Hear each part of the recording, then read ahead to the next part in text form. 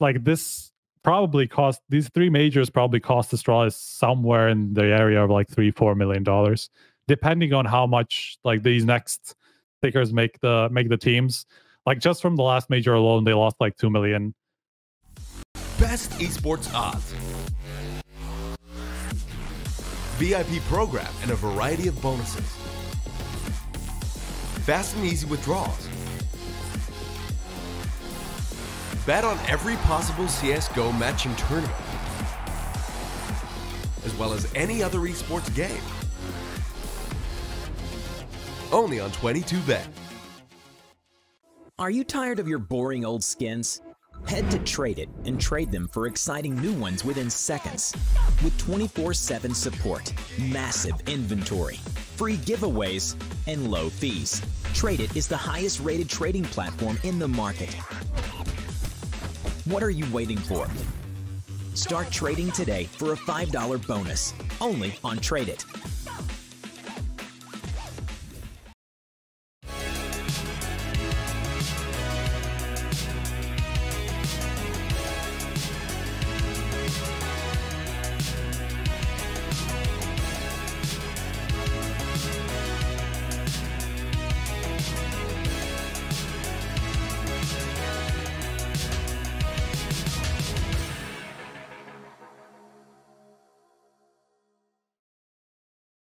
Ladies and gentlemen, boys and girls, Counter Strike fans around the globe, welcome to ASMR done on HLTV.org. Wait, no, wait, that's not our, it's HLTV.org. Anyway, let's do the intro again. Ladies and gentlemen, boys and girls, Counter Strike fans around the globe, welcome to another episode of HLTV Confirmed.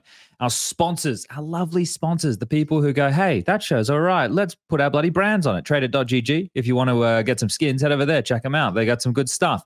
Uh, in the skin variety. And of course, uh, 22bet. Remember to gamble responsibly. All right, sponsors done, intro done. Uh, episode number 3424 uh, in the year 2024 on the 25th of February. Welcome. I hope you're all ready to enjoy yourself. You're ready to have a bit of a conversation. Not you at home. I mean, the people who I um, have a conversation with. And that's going to be Prof, Striker, and kyxsan as our guest tonight. But before we get to kyxsan, I've got some questions to ask. Prof, are you on another uh, like I, I don't know the humanitarian mission to save Swedish Counter Strike at the moment. Are you over there like brokering peace talks and you're working on uh, uh fixing Swedish CS right now? I mean, after these latest results, I feel like I'm needed here more than ever. Like, and with my experience being from Croatia, where the scene is so dead, like mm. I I can bring all of my experience and uh, knowledge to Sweden to like teach them how, how this works now. So they can avoid falling into the same uh, traps as, uh, as what your part of the world has, has fallen into. Okay, fair enough, understandable. Uh, Striker, I wanted to ask a question because you're you're a man. You know, you're you're softly spoken, but you've got your opinions. But you know, other than stealing office supplies, I just I wanted to kind of see what's big in Striker's life. So if you won 10 million euros in the lottery tomorrow what would you do with it? It's so funny that you asked me this because we had this conversation with my girlfriend like literally yesterday, okay. and I came up with the most boring answer ever. I knew which you is, would. Which is I would just buy like some cool car. That's it. That's all you got. I mean, it's like I don't have anything that I'm like big missing in my life. here. like yeah, I would buy an apartment just because like at the moment I'm still paying off mine. Whatever. Like I'd be Come boring on, as fuck. I'm sorry. All right, all right. Well, I wanted to check. I wanted to check. Now, uh, kyxsan joining us here this evening. kyxsan, thank you for uh, taking part on on tonight's show, mate. Uh, how was the travel back home? Uh, yeah, the travel was good. First of all, thanks for the invite. I'm happy to be here. The travel was good. I arrived home a few days ago. Now we're taking some few days off and we're back to the grind soon. All right. We'll get in all the serious stuff soon once I kick uh, into the hot seat. But mate, I got to ask a question, all right? And I might start like a fucking international incident or some shit right now. But listen, man, like where I'm from in Australia, like Europe is this place. Like we know of a couple of countries in Europe and stuff, right? But I need to ask specifically about Macedonia because when uh, CacaNito joined one of the teams that Machine and I were casting about, and we're like looking up on the profiles on HLTV and Liquipedia, and we're getting all the information we referred to CacaNito because of Liquipedia as North Macedonian. I'm on the Liquipedia page for you right now, and it says North Macedonian as well. And then some fucking guy on Twitter lit us up. And he's like, he's not North Macedonian, he's just fucking Macedonian, you fucking dogs. I don't know exactly what he said. That's kind of what I feel he was saying. But what what's the go? What's is is North Macedonia a place? Is that the official what's what's what's the deal? Uh, it's it's a bit complicated. I don't want to go into details. It's a political so, thing, but yeah, I can say okay. that officially it's North Macedonia, but nobody calls it like that. It's just Macedonia for us. Okay, so I am causing an international incident. All yeah. right, all right. So we'll just that's why the guy got upset. Okay, I didn't I didn't mean to, and I don't like ever lingering into politics, but I am an ignorant motherfucker. All right. So I'm glad that we've gotten that out of the way. Now let's get into the hot seat and let's uh, start talking to kyxsan about this is his life. We should have a jingle. Anyway, hot seat, let's go.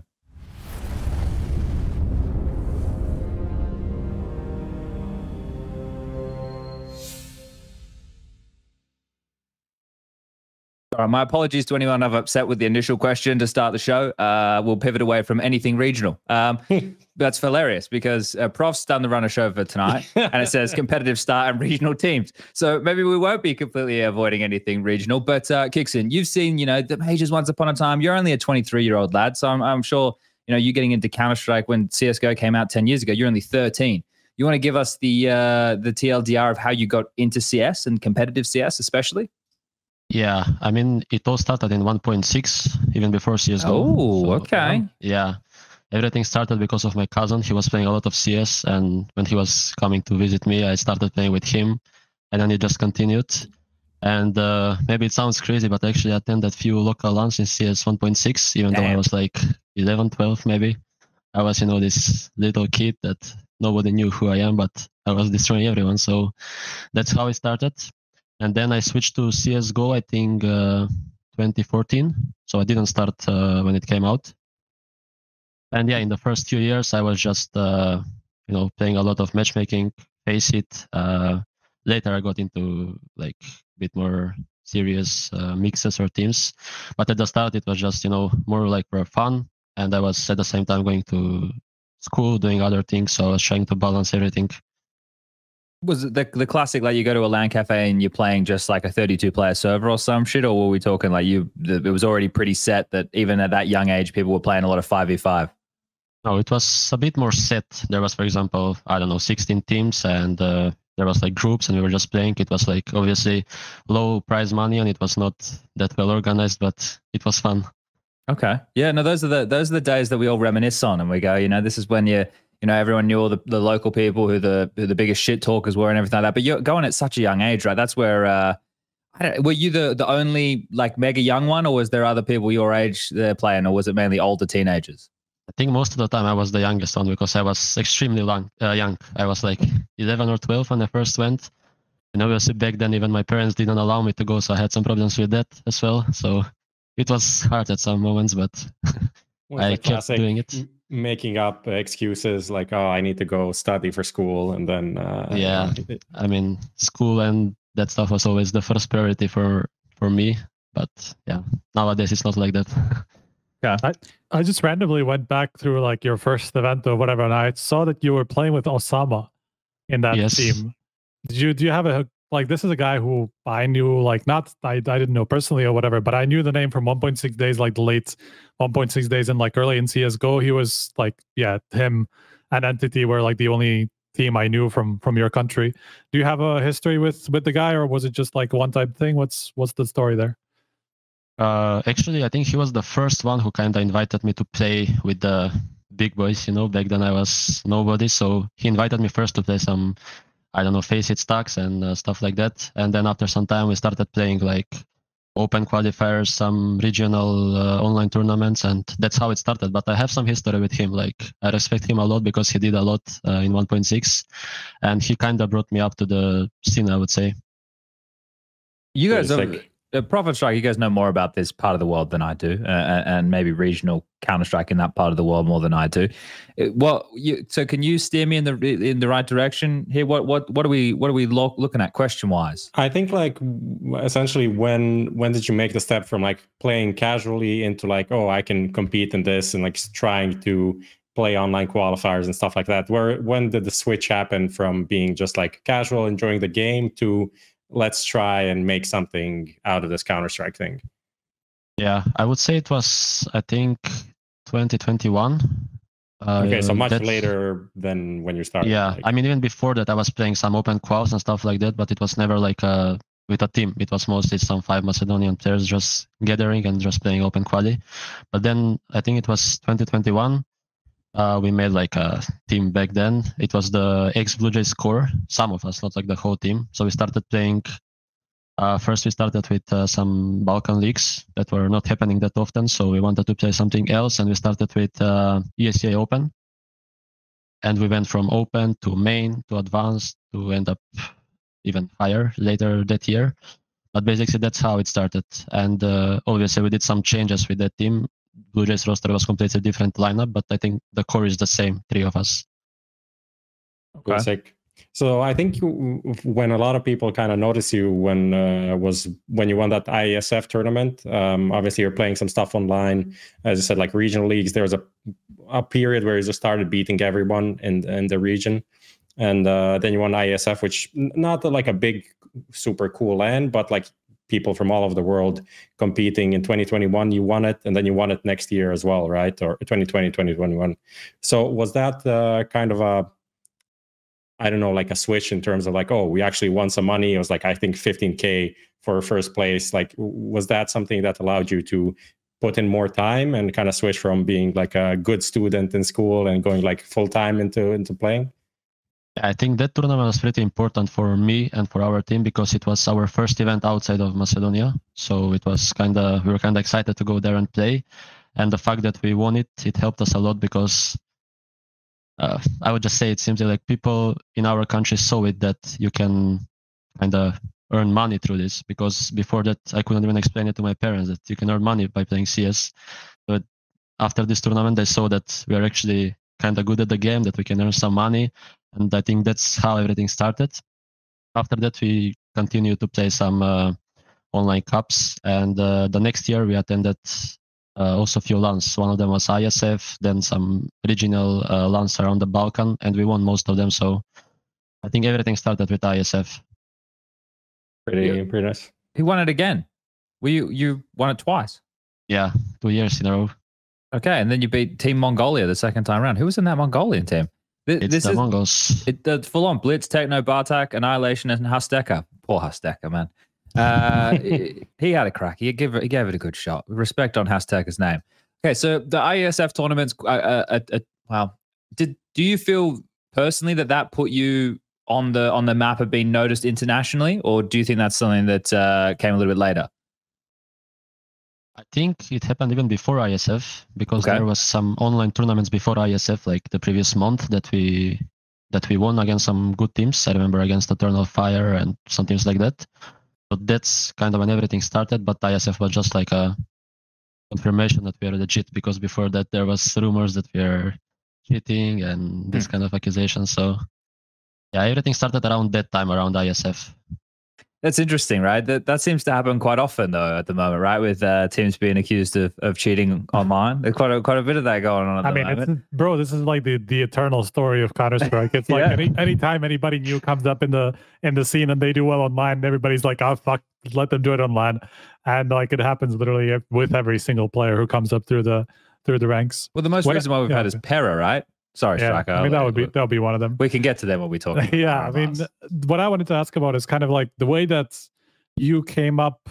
Uh, to me, was like people started talking about okay, Blue Jays because you guys made it kind of like to the edge of the top thirty, or you were around there like very for a very long time. You know, competing like around these tier two tournaments. And everybody was like at, at one point there were a lot of teams that were missing like a good in-game leader, and obviously you know you were also a guy who had really good numbers for an in-game leader in the in the tier two scene, and at the same time you were pretty young. How I just wanted to ask about kind of like how you came to in-game leading in the first place, you know, because again, like you were already on the radar as kind of like a 20-year-old in-game leader, you know, who who might be making it to the international scene next. It's actually funny because uh, in one of my first like teams that we started playing in 2021, uh, I was not IGL at first, but then we did some changes, and I don't know, I don't remember exactly what happened, but basically we needed an IGL, and kind of nobody wanted to be the one, so I was like, classic. Let me try this. and yeah, uh, even before that, I felt like I understand the game good, even though back then it, I was playing in a much lower level. I felt like I felt like I can do it, and uh, I enjoy it since the first moment I tried it one of those things like when when you're in game leading you either take to it or you don't like some people do it begrudgingly but uh, i think well, you're 23 years of age right now you're already made playoffs at a major, right? This is uh, you, you're Yeah. making making some big leaps already in the in the career. Now, uh, I guess we can start looking forward a little bit, right? Uh, so we've spoken a bit regionally, then we've gone into the the more, I guess, you know, tier two, tier three realms, and then breaking through and getting the opportunity to join Apeks, right? So this is the one where uh, everybody's like, okay, well, the Apeks, Apeks are there. I don't even know if at the time we would have called them a gatekeeper team, would we? I guess we would have called them like an upset team, someone who could potentially make a bit of a dent. But you joined in lieu of Shox. So Shox, if for people who may have forgotten, Shox was on Apeks for a period of time. Um, that's like three that- months, I think. yeah, so so people may may have forgotten that. I think that was that was after his liquid stint, right? But regardless, Yeah. where so you joined uh, nawwk, Jacob, STYKO, and JL, and yourself, and then Cuban was the coach over there. Um, how did how did that all come about? Getting that opportunity? Who who was the one that that scouted you, or you know, kind of, I I guess, had interest to pick you up into the team? Yeah, I don't know. Everything was kind of unexpected and kind of out of nowhere. It was just a normal day, and suddenly I got a call like uh, that Apeks is interested in me, and uh, I had a call with their uh, general manager or something, and they wanted to do a trial with me in like the next few days as soon as possible. And uh, yeah, we scheduled a trial for two days, but then these two days went pretty good, so they wanted two more. So it ended up being like four or five days in total. And then that was like, I don't know, maybe two months before the season ends. So actually, I had to end the season with my ex, my old team with Blue Jays. Mm. So after the trial, I came back to Blue Jays. We continued playing. And then a few weeks after the trial, I got notification that I'm I will be joining Apeks, that they want me. And I just finished the season with Blue Jays. And uh, after that, for the next season, I joined Apeks. And in the start, it was kind of unbelievable because before that, I I've always played with my friends, with my Macedonian friends, and now suddenly I'm playing in the same team with players like Jake and STYKO. I have a lot of respect for them even before I joined the team, before I joined the Apeks. So yeah, and at, at the start it was a bit uh, not hard, but maybe I was doubting myself a little bit because it's something that I've never tried before, playing with players that I've never seen or met or talked to, and a completely new coach. Everything was new for me. But uh, once we started playing, uh, everything just clicked instantly, and we we were improving a lot. I would say. There's a lot of um, questions this now like invokes for me, right? So first of all, I, I want to start something like quite rudimentary, but Blue Jays, right, they no longer exist anymore. What, what type of org was that? Were you guys you get getting paid like a decent salary and stuff to play then, or, or, or what type of situation was that? And how did the was it an easy transfer process? Was it like yeah, sure, like no dramas, mate. Good luck in the future. Yeah, it was a German organization, and uh, we had like decent salary. Like obviously not close to like tier one or tier one point five, but we had all right salary for what we were doing, and uh, the transfer was pretty easy. Like everything happened in few days, so not much to say about them. Okay. And then the next thing for somebody so young and also the first time going into in game leading a team like this, and then obviously in English as well. How how did you did you go in like you know you're a new you've you've just gone into prison and you want to go up and like king hit the the biggest guy in the prison yard to get the respect on kyxsan's name like what how how do you how do you make sure that the other guys are going to respect what you have to say as an in-game leader Uh, I would say that I was just trying to be myself and not uh, change too much because they liked what they saw on the trial, and on the trial I was just doing my things. I was they let me just call and do whatever I want, and they liked it. So when I actually joined the team, I was trying to repeat the same, and uh, I think they had. Even though I was kind of unknown at that time, they had respect for me from the first day. I think it was like a, we had a good, uh, what's the word? relationship in the team. Like everyone was respecting each other, and uh, it went great. Okay. Nice. Yeah. No. Well, I guess I guess that's key, right? If they're they're getting to put you on trial, so if they're liking what they're seeing, that's that's great news. All right, boys. Where do you want to pivot from here? What questions we got? I wanted to just ask you. I think it's very interesting, like how you described the whole uh, move from, as you said, like playing with more or less friends, like people that you knew for a long time. You know, you make one roster change, but it's like kind of always the same mixture of people. Either you pug with them, or you saw them at lands, or you know stuff like that. And then going into like a professional team, like how did it feel to kind of leave the the Macedonian core behind? Because like obviously there's pretty good talented players there. CacaNito we saw also came to Apeks. I think Necrogenesis for a while was rostered or, or like rumored to connected to a few different rosters, but it didn't really happen. So did it feel like kind of sad in a way? Did, did you feel like you could do more with uh, that core? Uh, I was definitely feeling sad because I played with these people for like few years in a row, and it was hard to leave them. But at the same time, I think uh, with the roster we had, especially that it was only Macedonian people, I think we did even more than enough, even better than people expected. So I think we kind of reached our maximum, which was top 30. We were ex- exactly top 30 on HLTV as our like top ranking. And uh, yeah, as I said, obviously, I was feeling sad at the start. I was uh, watching all of their games they were playing after I left, but uh, after a few months, they disbanded, and uh, now it's completely different time. yeah. So you made a good good choice at the right time, I guess. Yeah, makes sense. Yeah. Uh, but what about what about calling in English? How did you adapt to that so so quickly and so well? I think it was a bit weird the first few days, maybe, but uh, I kind of got used to it fast because even before I joined Apeks, I was playing FPLC at the time or some other packs, and like I was speaking English quite often, I would say, in CS. So it was a bit hard maybe the first few days because you're not like I was speaking English the whole time after I joined Apeks. So I needed a few days to adapt, but after that it was easy, I would say. What kind of an game leader um, are you? How would you describe yourself? You know, because it seems like, you know, for a guy who would be very structured, it would probably be pretty hard to make the transition like so easily. Like, are you more like a free flowing guy? How would you describe your style? Yeah, I would say that I'm. Uh, it's not that hard for me to adapt to the people that I'm playing with, and uh, I feel like in all of the teams that I've played, people have uh, enough freedom to do their things and they're comfortable to play their own roles. Of course i'm not saying that if someone wants to do something for 15 rounds of course i will not allow that but we have like a like a deal let's say on how much freedom everyone has. And i think that's uh, that's the best thing about my coding because i'm still coding my things but at the same time people have uh, their own place and things they can do the rounds when you when you first came to the team right uh, to apex and obviously um, you have an established team and players who have certain things that they like to do and things that they have been doing, and then you're saying, well, in the trial, you're we're just calling so what you wanted to call. So I guess you know uh, you guys were you guys doing pracs on those days before you played scrims to to at least know what you had at your disposal in terms of what utility these guys knew and what positions they like to play on defaults, or was it just like free for all calling? where you were like, all right, you guys do map control here. We'll look for a pick with nawwk over here. Like, what, what how does that process start? Just about the trial, right? Yeah. Because then I imagine uh, once you're in the team, it changes. Yeah. But basically on the trial, uh, I remember like, let's say if uh, the first prac was at one, we had like one or two hours of theory before that. Okay. So basically, uh, I was doing the theory. So they allowed me to explain to them like how we want to play this map. On the, in the trial?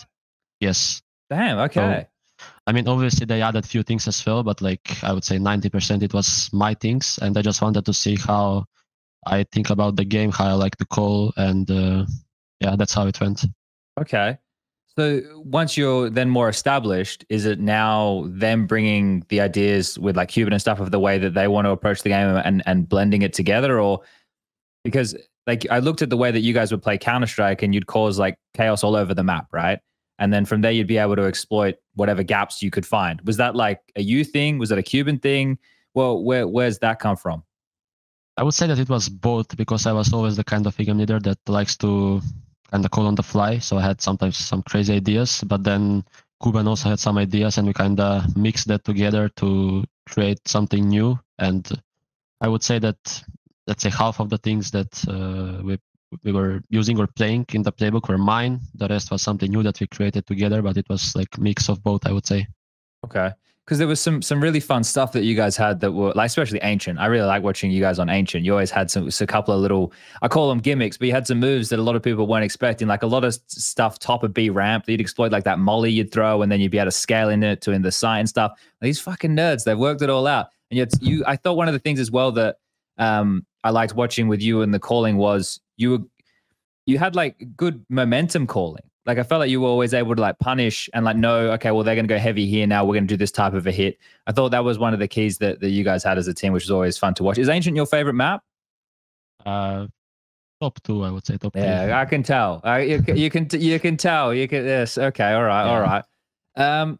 Well, okay. What other questions we got about Apeks? I have just a, a just a qu- quick question, like relating to the IGLing part. You kind of explained some of it, but my question is, where did you get the inspiration to be like, okay, this is my style, and like, when did you discover this was your style of calling, right?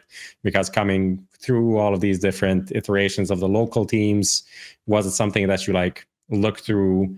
How other teams were playing, like some of the big IGLs at the time, like 2018, 19. Like, where did the inspiration come from? Uh, or just trial and error. oh, maybe it's a bit weird, but it was basically the whole time I was just trying to be myself and do like code the way I want. I, I'm not saying that I didn't watch any demos, but basically I was just being myself, coding what I feel like, and uh, even nowadays some people are like complimenting me, like you know you're doing this, you're doing that, but like I'm just thinking myself, like I'm just doing my thing. I'm not doing anything crazy, you know. It's just me, and yeah, Okay. So just your vision of the game. I, I think Yeah. that the thing is we're getting to see you and siuhy, I guess, are probably the the main two newer ones on the map as far as like younger in-game leaders go. Am I missing anybody? I'm probably missing somebody. I'm sorry to whoever I missed. But the two of you, are, I suppose, the the, the more standout names in that department right now.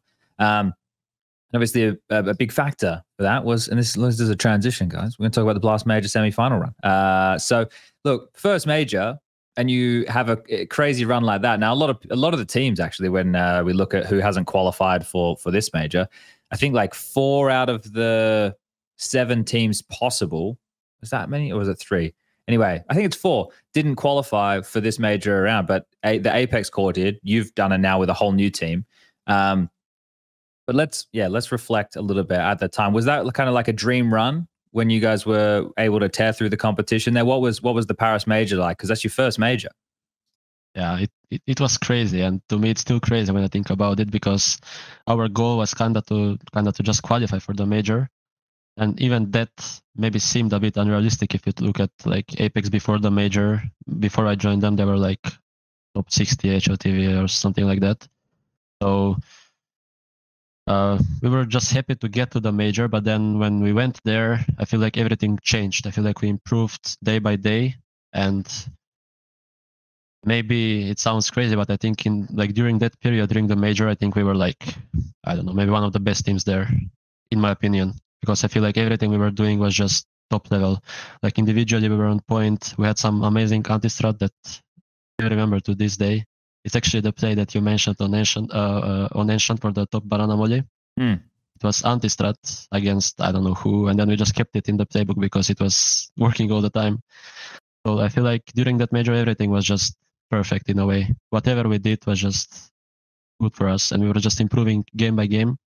I think we the pressure kind of hit us in the semifinal against Vitality, and we didn't play good at all, and we still managed to win like 14 and 13 rounds or something like that. So that kind of shows how good we were playing. It was a pretty interesting blend of players that you had with you, right? Obviously, Jacob and STYKO being the two more experienced uh, members in the team at the time. Um, but it's not like like nawwk had been around for a decent period of time as well, and JL and you, I guess, were the two newer names in in, in that regard. So, wh- what do you think it was about being at a big event like that, and uh, like? I, it's it's hard to quantify because there was a lot of teams who had runs that people nobody expected, right? And you guys were just one of one of those many teams.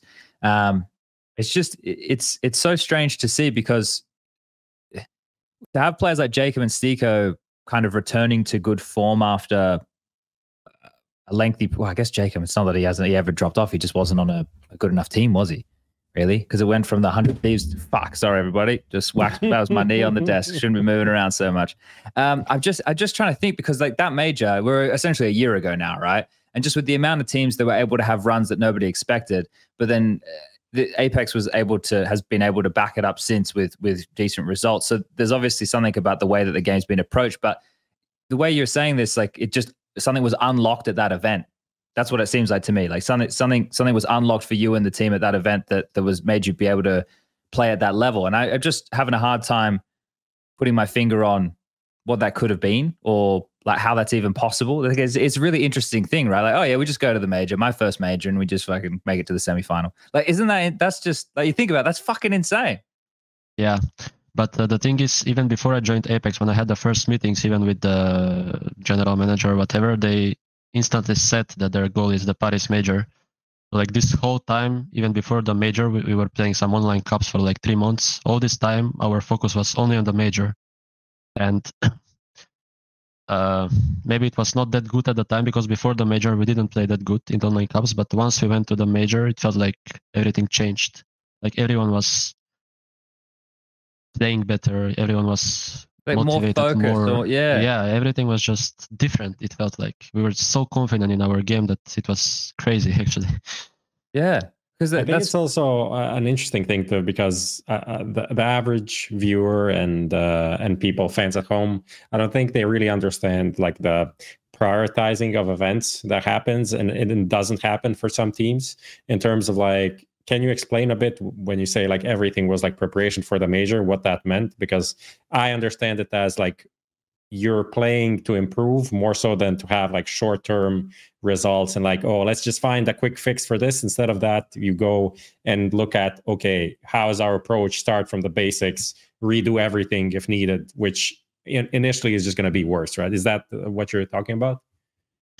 Uh, bef- yeah, before the major, I think we had like a good boot camp of like I don't know a week maybe, and during that boot camp we were like just playing the whole time, trying to you know grind as much as possible, and we had some talks about our about the mental part of the game because usually we're struggling with that, especially in some online cups, because yeah, for example, jkaem and STYKO are some more experienced players, and playing CCT for them or some other mm-hmm. online cup is not the you know the most motivating thing in the world. Uh, and it was not only them. I'm just giving an example. It was kind of all of us. So we were talking about so many things before the major, and I think most of them we did them successfully at the major, and that you can see by the results that we were doing the things right. Well, it. Uh, I guess if we continue to pivot forward, right, it, it, it put you even because but this is a short period of time. You said just when we started this conversation, correct me if I'm wrong. 2021 was when you started taking things more seriously, Yeah, kind of. and we're only now just in 2024. Yeah. So that's all happened quite quickly, mate. That's uh, it's quite a short period of time that you've been able to get yourself into uh, a, an organization like Heroic. That uh, these last couple of years must feel like they've fucking flown by. Yeah, it's actually insane. I still can't believe it sometimes where I am today. It doesn't seem uh, real, you know, at some moments. I want to ask you just one one more thing about that major run. Um, is is the liquid game one of those things that you just like remember because you fucking owned them individually as well in, in that game and made the semifinals? Is that just one of those things that you just like randomly having a doing bad some di- day. Or like you're doing some dishes and you're just like, ah, liquid detergent is like, ah, I remember when I owed liquid that day. That was a fucking good day. And just like smile a bit. Is that one of those memories? Yeah, I think so. It was uh, probably the best game I've ever played. Like maybe not like individually, but if you consider it was major quarterfinal, it's something that I will always remember. And uh, yeah, I think it was we won 2-0 if I remember, and Yep. uh, I think we were so confident going into that game because we already played them once and we beat them. And we had some crazy anti-strat against them, like everything. We, we knew what we need to do, and I think if we played them like 10 more times, we would have won every time. Damn. We were all confident, and uh, I had a great individual game, so it's a game to remember for sure. Did Did you have a favorite teammate? In Apeks, Yeah. uh, maybe I shouldn't say it. I mean, look, you know, you, you can say you love them all, but there's got to be surely there was one that you enjoyed playing with more than others, right? There's always Yeah. a little bit of I li- I- synergy. I liked all of them, but uh, maybe I was the closest with jL. Okay. Okay. All right. Big J.O. I think he was in chat just before. Well, you, you both, well, you're the two who are no longer on Apeks. Obviously, you- jL left right after that major. I mean, that, Yeah, he did He, too. left for Navi straight away. Yeah. Wow. Wow. How was Wow. that? How was that period? I mean, obviously, you know, like you have this massive high, and then straight after that, you know, you lose one of your players, and that's it has to feel bad. Yeah, it didn't feel that good because we knew how important of a player he is for us, and uh, not only about like the in-game part of the game, but also outside of the game, he was bringing a lot to the team.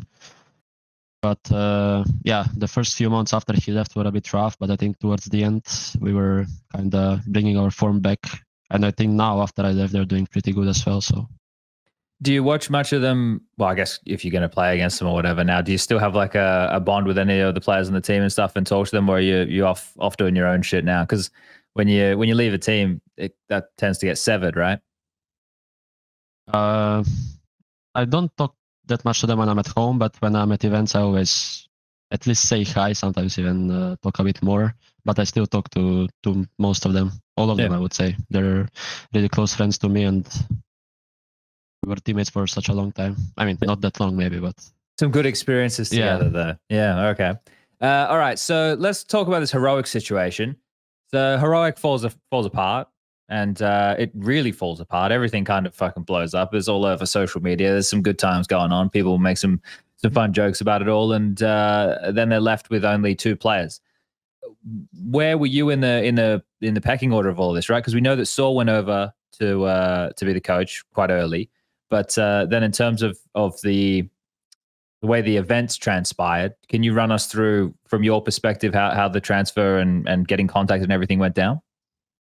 Yeah, it uh, like similar to Apeks. It happened like out of nowhere. I remember it was just a normal prac day, and uh, after we were done, I was supposed to I don't remember like go somewhere, and uh, my agent called me and he said you need to talk to Heroic. And I'm like, okay, when? I really interested. I was like, okay, let's do it. But I need to go in like 30 minutes. And he's like, it's fine. And then I talked to the general manager of Heroic. And the same day, instantly after that, I talked to sAw. But at that time, I didn't even know that he's the coach of Heroic. So everything happened like in the exact same day. And after that meeting, I realized that they're really interested in me and he really wants to bring me to Heroic uh, after the talk with sAw. And yeah, uh, it took few weeks. Uh, few weeks, if I'm not mistaken, to complete all of the transfers and all of that stuff to get sorted because the season was still ongoing and I still had like two more even LAN events with Apeks. Two LAN events. One was in uh, Finland, Elisa. The other one was ESL Challenger Atlanta. So after all of that was done, then everything became official. I mean, this was this was like in the works. Like you say, it happened really quickly for you, but like overall, I think it was in the works for a long time because I think some of the players didn't even know like where they were going to end up for for a while. Um, what did you know from the beginning that was going to happen? Like, did you know the whole whole squad from the start, or or how did that go? Uh, at the beginning, I knew that they want to bring me. I knew that uh, is staying, uh, and they want to bring NertZ, but NertZ was not confirmed at all. So at the start, there was not much. Only sjuush and sAw were kind of confirmed in the team and it took like I don't know maybe like three weeks to get all of the names on the team because first Heroic had some other ideas, then everything fell apart, and uh, at the end we ended up with this roster. Mm-hmm. So what what was the selling point for you then? Like, did you already commit before the whole roster was completed, or um, what? Yeah, how did that go? Uh, I kind of yeah I committed to it because I knew that sAw will be the coach, sjuush will be there, and NertZ was not confirmed but kind of like 99%. So I felt like that's a good core. And then I heard the other names that they were interested in, and uh, most of them were like you know tier one good players that I would like to play with, and uh, I accepted the offer when I got it. Can Can I ask why when you knew sAw heard sAw was going to be the coach? What about sAw or or how how do you have such high high praise for sAw before you would, you know, just just from the work he had done with ENCE? Like, eh, what what what enticed you about him as a coach? I think mostly about the work he's done at ENCE because I think they were like consistent top five team during the last year, and uh, also I've heard some great things about him from other people. So and also I had few talks with him uh, during all of this process of uh, getting the roster. So yeah, I, I trusted a lot in him, and uh, I think he's an amazing coach. Honestly, because it's one of these things you're going from from a roster with players that you already already know, obviously to. I, and I don't know financially here. I, Apeks has a lot of money, don't they? They're like Norwegian oil barons or some shit. I, I, I, I, don't know what exactly they are, but like you're going to a bigger name in heroic, but financially, maybe that came with a with a bonus as well. Did would you just feel like it was a well, like things have worked out like hindsight's twenty twenty, but but at the time, was it like I just want a new project? Like, what what was going through your mind at the time with it?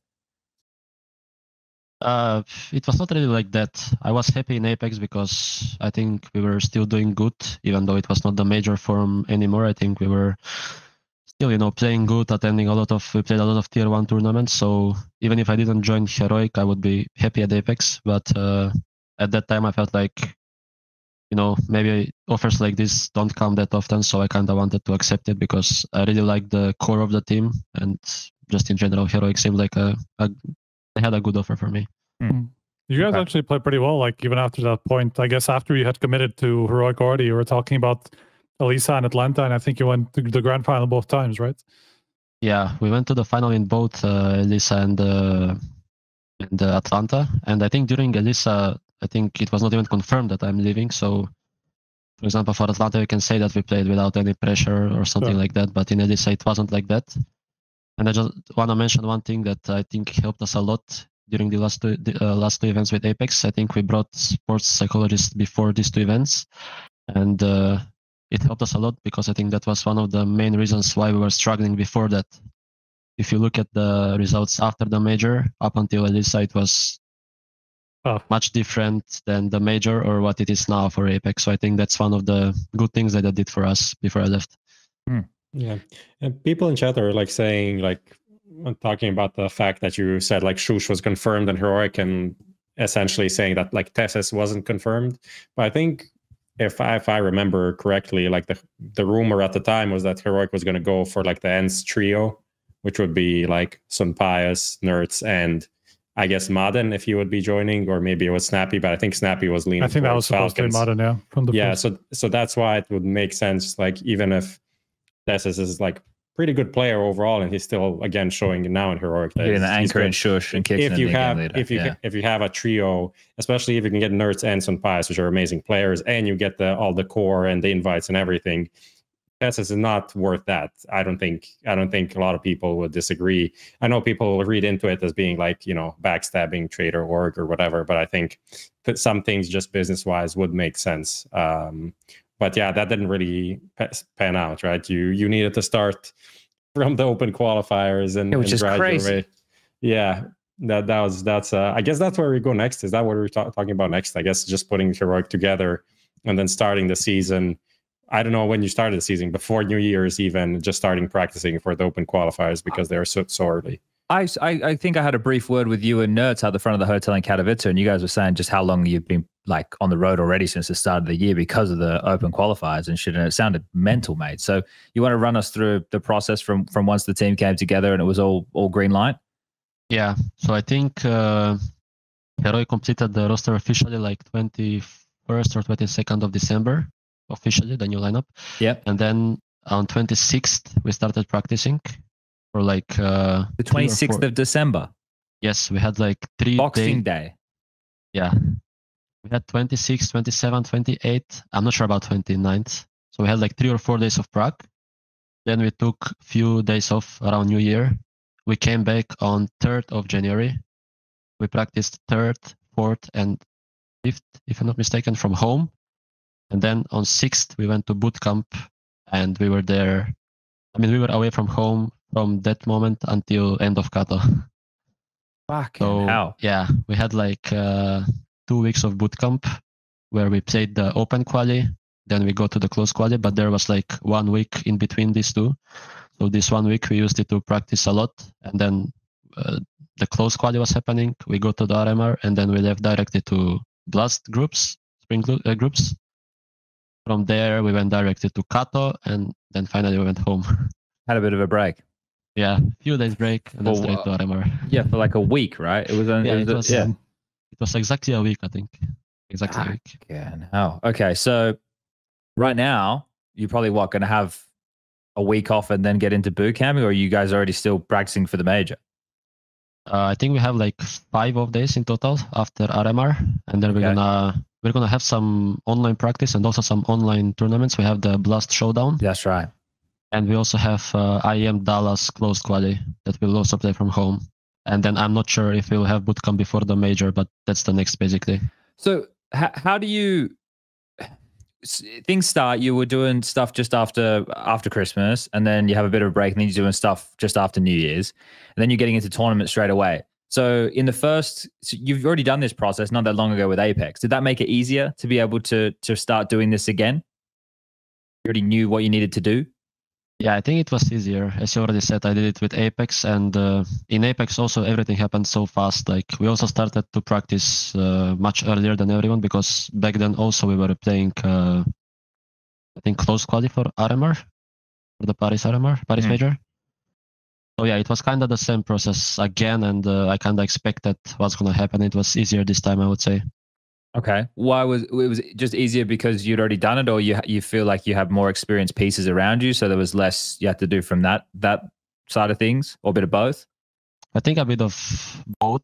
Uh, I think it's it's nice that I have some more experienced players now, and uh, I feel like they're helping me more, and also so they're helping me a lot with like some in-game stuff and some outside of the game stuff. So everyone is contributing a lot to the team in every possible way, and it's it's easier, I would say. I mean, this, the Katowice run must have been a big confidence boost, right? Because you start out with kind of blast groups, which did went pretty badly for you guys. I mean, you had that horrible loss to Cloud9 at the beginning, and then lose to Big, who I don't think people had a, like big expectations of anyway. So that must have been a pretty bad start for the team, kind of emotionally, you know, and just like thinking about okay, Katowice is around the corner, then RMR's around the corner. You know, we kind of have to be in a good form if you want to make it to the major. So how how did it go from like the emotional side and just kind of being able to deal with blast groups and coming back from that to to be able to beat you know Vitality and was it you almost beat G two as well in that yeah. Uh, in that run? Astralis was one of those as well. So how did that go from your perspective? Uh, like if you look at the results at Blast, obviously it's bad. But after we rewatched the games and we saw what happened, we we kind of saw that we're not actually playing that bad. We're just missing some little details that uh, usually get fixed after some time. You cannot expect all of these things to to be good after we've been playing together for like three weeks in total. And uh, we actually saw it in Katowice that uh, all of these little mistakes and details got a bit better. And we're actually able to close out the rounds and the games now, something that we were not able to do it at Blast. I think we just it was not that hard emotionally. We just accepted the fact that we lost. And to be fair, it was not the most important tournament if you compare it to Kato or RMR. So we just rewatched the games, saw what we did wrong, and I think we did good to improve all of these things for the for Kato. It would can I, I this is a this is a I guess a strange question, but um it's not that strange. What am I saying? It was it nice being on the road with each other from the sense that you could just talk through all of the issues that you were having together right? Like you're you you're at the airport you can talk counter strike you're going out to dinner you can talk counter strike and you just kind of like crammed a boot camp into the first 2 months of the year essentially. Like uh, did that make life easier? Would you have preferred to have been at home where you can do all right guys we're going to do theory then everyone can fuck off for lunch then we come back and we'll play some pracs and like what what model is preferential to you I always prefer bootcamp because I think it's much more effective. Maybe this time it was a bit too much because we were away for like a month, but I think we did well, even though we were together like 24 7, like every day, every every day for like a month. I think we did well. Nobody got like bored of it. Everyone enjoyed it, and it made our life easier. Like uh, as you said, it's much easier to talk about CS. You can talk all the time, and I think we spent a lot of time on like these talks so it was not only just practice and playing and adding new stuff to the playbook, but it was also just talking about the game and some things outside of the game that helped us improve a lot. I would say. I think when when you when you look at it, because when this team came together, it wasn't very highly rated, right? I don't think many people sitting there going, "Oh yeah, this Heroic team's gonna be fucking sick." It was like, "Oh yeah, it's fine." Like it's just pretty pretty mid. Like it's maybe on the upper end of mid. And then you you look at the the pieces that you have though, and everybody's like hungry to prove something. Like nicoodoz's coming back, getting another opportunity at like a, a big org, right? sjuush and TeSeS being the two that get left in the dust, and the other two nicked off and went to fucking Astralis, and these two get left behind. You're still a young in, in-game leader getting a chance to make his mark. Thanks for the raid, Monacy. Fucking sick spam in the chat, but uh, and then NertZ, right? He's one of the pieces of ENCE, but NertZ is still quite early on in his career, and he's very hungry as well. And then even the same with the coach sAw right? So everybody was saying to prove. that that feels like that must have because everyone's on the no one's old and jaded. Everybody's the average age of your team is 24. Everyone's everyone's young and hungry. Like, and I guess that's why someone in the chat said, "Oh, a month is a month even that long? A month's a long time to be away from home, living in hotels." Like, I think I think people don't realize like it, it it's fucking draining. So I don't. I guess I made more of a statement than a question there. Um, but you have a young, hungry team, so I guess that's kind of helped you at this point. What about the the opinion that the community seemed to have of your team? Did was there much discussion from that from you guys internally of like, oh, they just think we're average? I don't think there was discussions inside the team, but uh, I personally read some of the comments and uh, I would say that I take them in a positive way because it kind of motivates me to prove everyone wrong. Because when we formed this team, when it was announced, everyone was like, "What's this? You know, like this is not a good team, or like it's not like a contender for titles or trophies or whatever." But I disagree with it, and but I respect every everyone's opinion. But uh, I think all of these comments just makes us stronger. I would say. All right. What what comment annoyed you the most? there was I don't know there was some bad comments, but just in general, I think they motivate us to prove people wrong. I don't remember some specific comments. It's just in general. Yeah, they couldn't have been that bad, Prof, if he doesn't remember a specific one. Doesn't have it like printed up on the wall maybe in it front of was him. that bad, so he doesn't. Screenshot it on his phone wallpaper.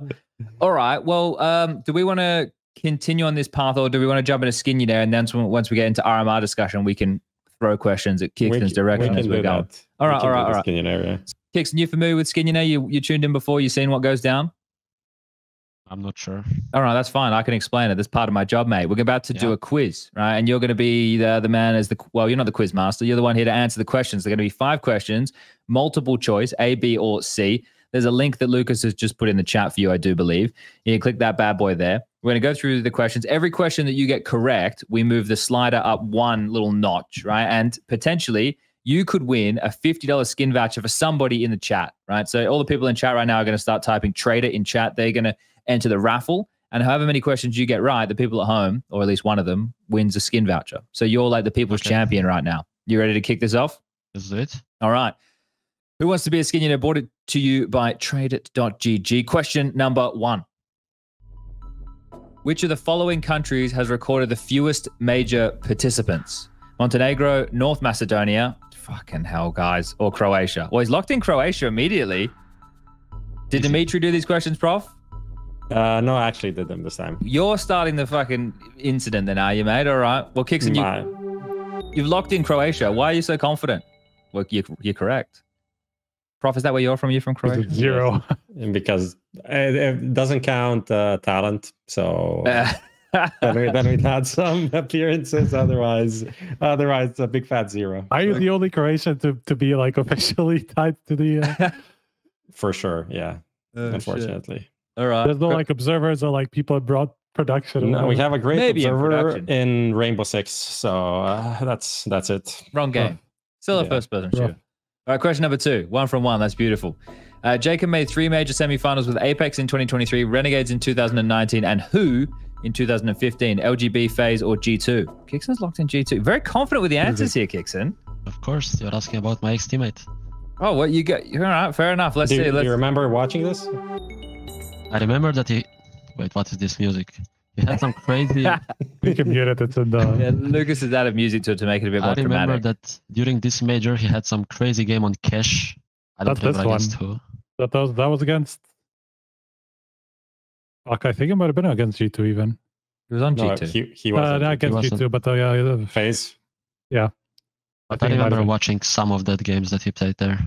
Oh, well, fucking hell. You're smashing these. All Oh, right, two King, two. Kinguin. There you go. That's the one. Not not FaZe at the It time. It couldn't have but it been was FaZe. I don't Win. think FaZe was in yet. Kinguin- There was Yeah. Kinguin at the time. All right. All right. Question number three. Thor joins heroic from ENCE, but what is the last team he played for? ENCE, HAVU, or KOVA? Fucking nailing this. Yeah. It's- I thought these questions might be hard, but he's just like locking it. No, no comment, just nailing. it. Yeah, just smashing it. All Actually, right. this is a question that someone asked him a few weeks ago, and that's how I know. What from the team? No, it was I don't know. We were someone else asked him like what teams he played for, and that's how I Okay. know. All right. All right. So recent, recent knowledge. All right. Question number Yeah. four. In 2018, TeSeS played for an org that also had a Balkan roster. Which one? Binary Dragons, how did I even get through? I didn't even get uh, squared. He's locked in. I've never heard of squared. He, fucking hell.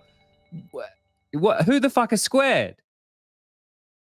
I don't know. So, uh, I think it- I think it was a, like a Danish dude that was like connected to pharmacies or something in some way, and then he, for- for some reason he had a Balkan team for a while. It was like Holmes, I think, on the lineup and stuff and stuff like that. Uh, maybe even Nexa. I think Nexa was on the Really? lineup for a bit. Uh, but I I, uh, I also thought this was a t- tough question. I don't know how he's like instantly knowing that TeSeS also played on. on how do you know this? I know my teammates, my ex teammates. Shit. you can see that, yeah. This is crazy. All right, question number five. This is for the clean sweep. Which pairs of teams qualified for the first CS2 major? Astralis and Falcons, NIPM Fnatic, Saw, and Koi. That's an easy one. All right, well, you five from five. You smashed through those. I can't quite believe the pace at which you've done that. That's got to be I think record that might be the speed. might be the fast, fastest one. Yeah. and you didn't even sure. have to think about any of them. and it was not easy either. Like it was one of the harder ones.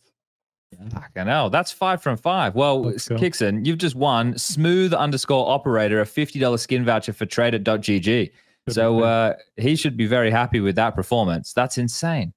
We've done very well. This is where the lights start flashing, the music plays. Uh, you know, they bring you out a bouquet of flowers. Uh, wow. you know, like the only thing, the only thing that would have made this better, you know, if we did like the the first guy who won like the million dollars on the on the American.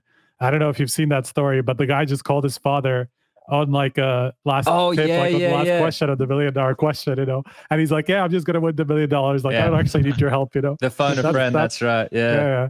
Yeah. that's, well, that's that's the only thing you know that could have happened here. Damn. Well, it's fucking traded are going to want their money back for this week because the quiz is so goddamn quick. Well, uh, look, let's let's take the ad break. We'll uh, get in contact with Smooth Operator and we'll come back from the ad break and start talking about the RMRs. Be right back. Best esports odds. VIP program and a variety of bonuses. Fast and easy withdrawals. Bet on every possible CSGO matching tournament, as well as any other esports game. Only on 22bet. Are you tired of your boring old skins? Head to Trade It and trade them for exciting new ones within seconds. With 24 7 support, massive inventory, free giveaways, and low fees. Trade It is the highest rated trading platform in the market. What are you waiting for? Start trading today for a $5 bonus only on Trade It. All right, we are back from the break. Prof's just uh, gone to, to the lavatory, every- everybody. Nature's called, but uh, we don't need him to get started. We're going to be turning our attention now to talk about the RMRs for Europe. Uh, the RMRs for Asia start tonight slash tomorrow morning, and then the Americas in about a week's time, something along those lines. So we are just going to be discussing all the action that happened for uh, Group A, Group B, and then the LCQ. Uh, I'll just quickly rattle off the teams which qualified, and then we'll go into it in more detail. So this is just kind of to cap it off for the people who maybe are just tuning in and, and didn't watch any of those games. So uh, from Group A, it was VP, G2, Navi, FaZe, Koi, Eternal Fire, Saw, and AMKAL. From Group B, it was MOUZ, Cloud9, Spirit, Vitality, Apex, Heroic, Ecstatic, uh, and ENCE. And then for the last chance qualifier, it was Nine Pandas. Okay, so uh, I we the seeding still needs to get done at some point, doesn't it? Striker to determine who is going to be the the um what is Oh, it, opening gonna- stage who's and gonna, yeah, elimination? skip the skip the opening stage. Yeah, yeah. it's good. It's just supposed to be the top seven teams in Europe and top one team in America. So So by the Um, seeding, uh, by the Valve ranking. Yeah. When will the Valve ranking be? Are they going to should be the update day it? after. That should be either the day that the Americas Sarmar ends or the day after. I think it's March fifth. March fifth and the major. But the, mate, it isn't. Aren't teams flying out to the major on March fifteenth? Fifteenth, yeah.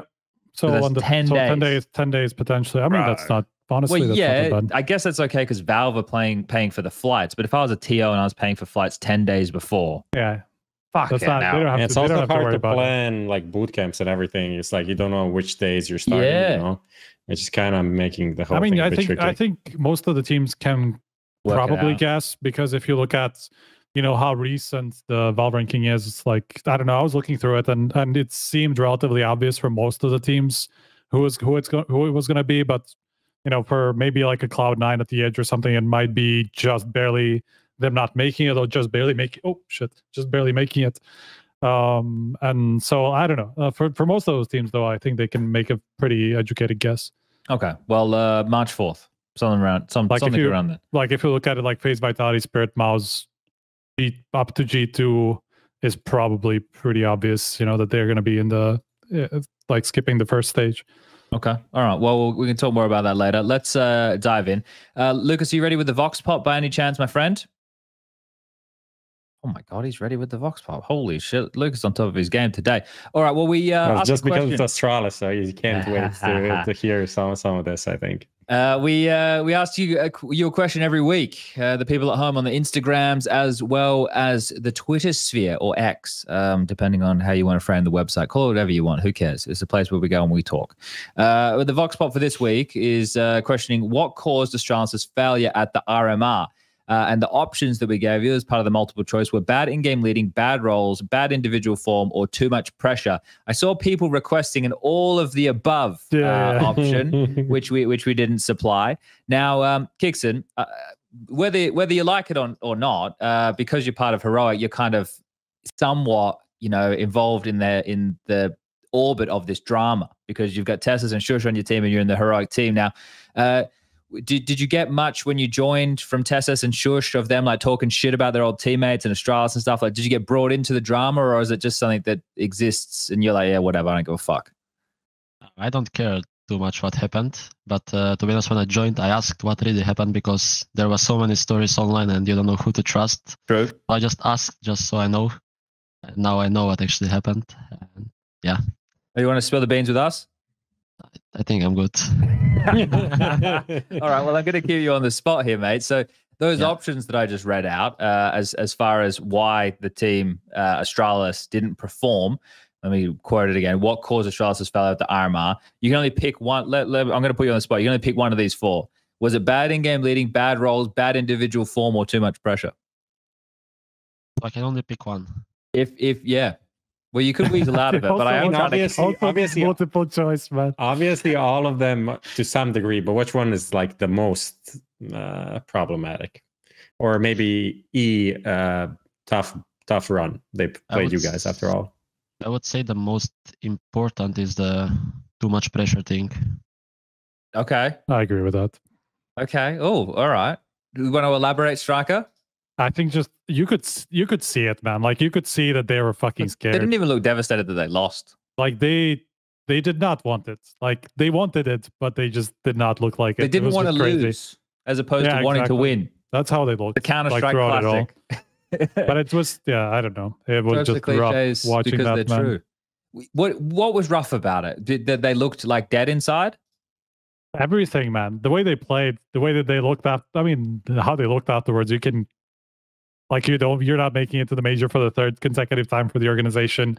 Like it couldn't be worse in terms of like the impact of of not making it, you know, but it's more like in game.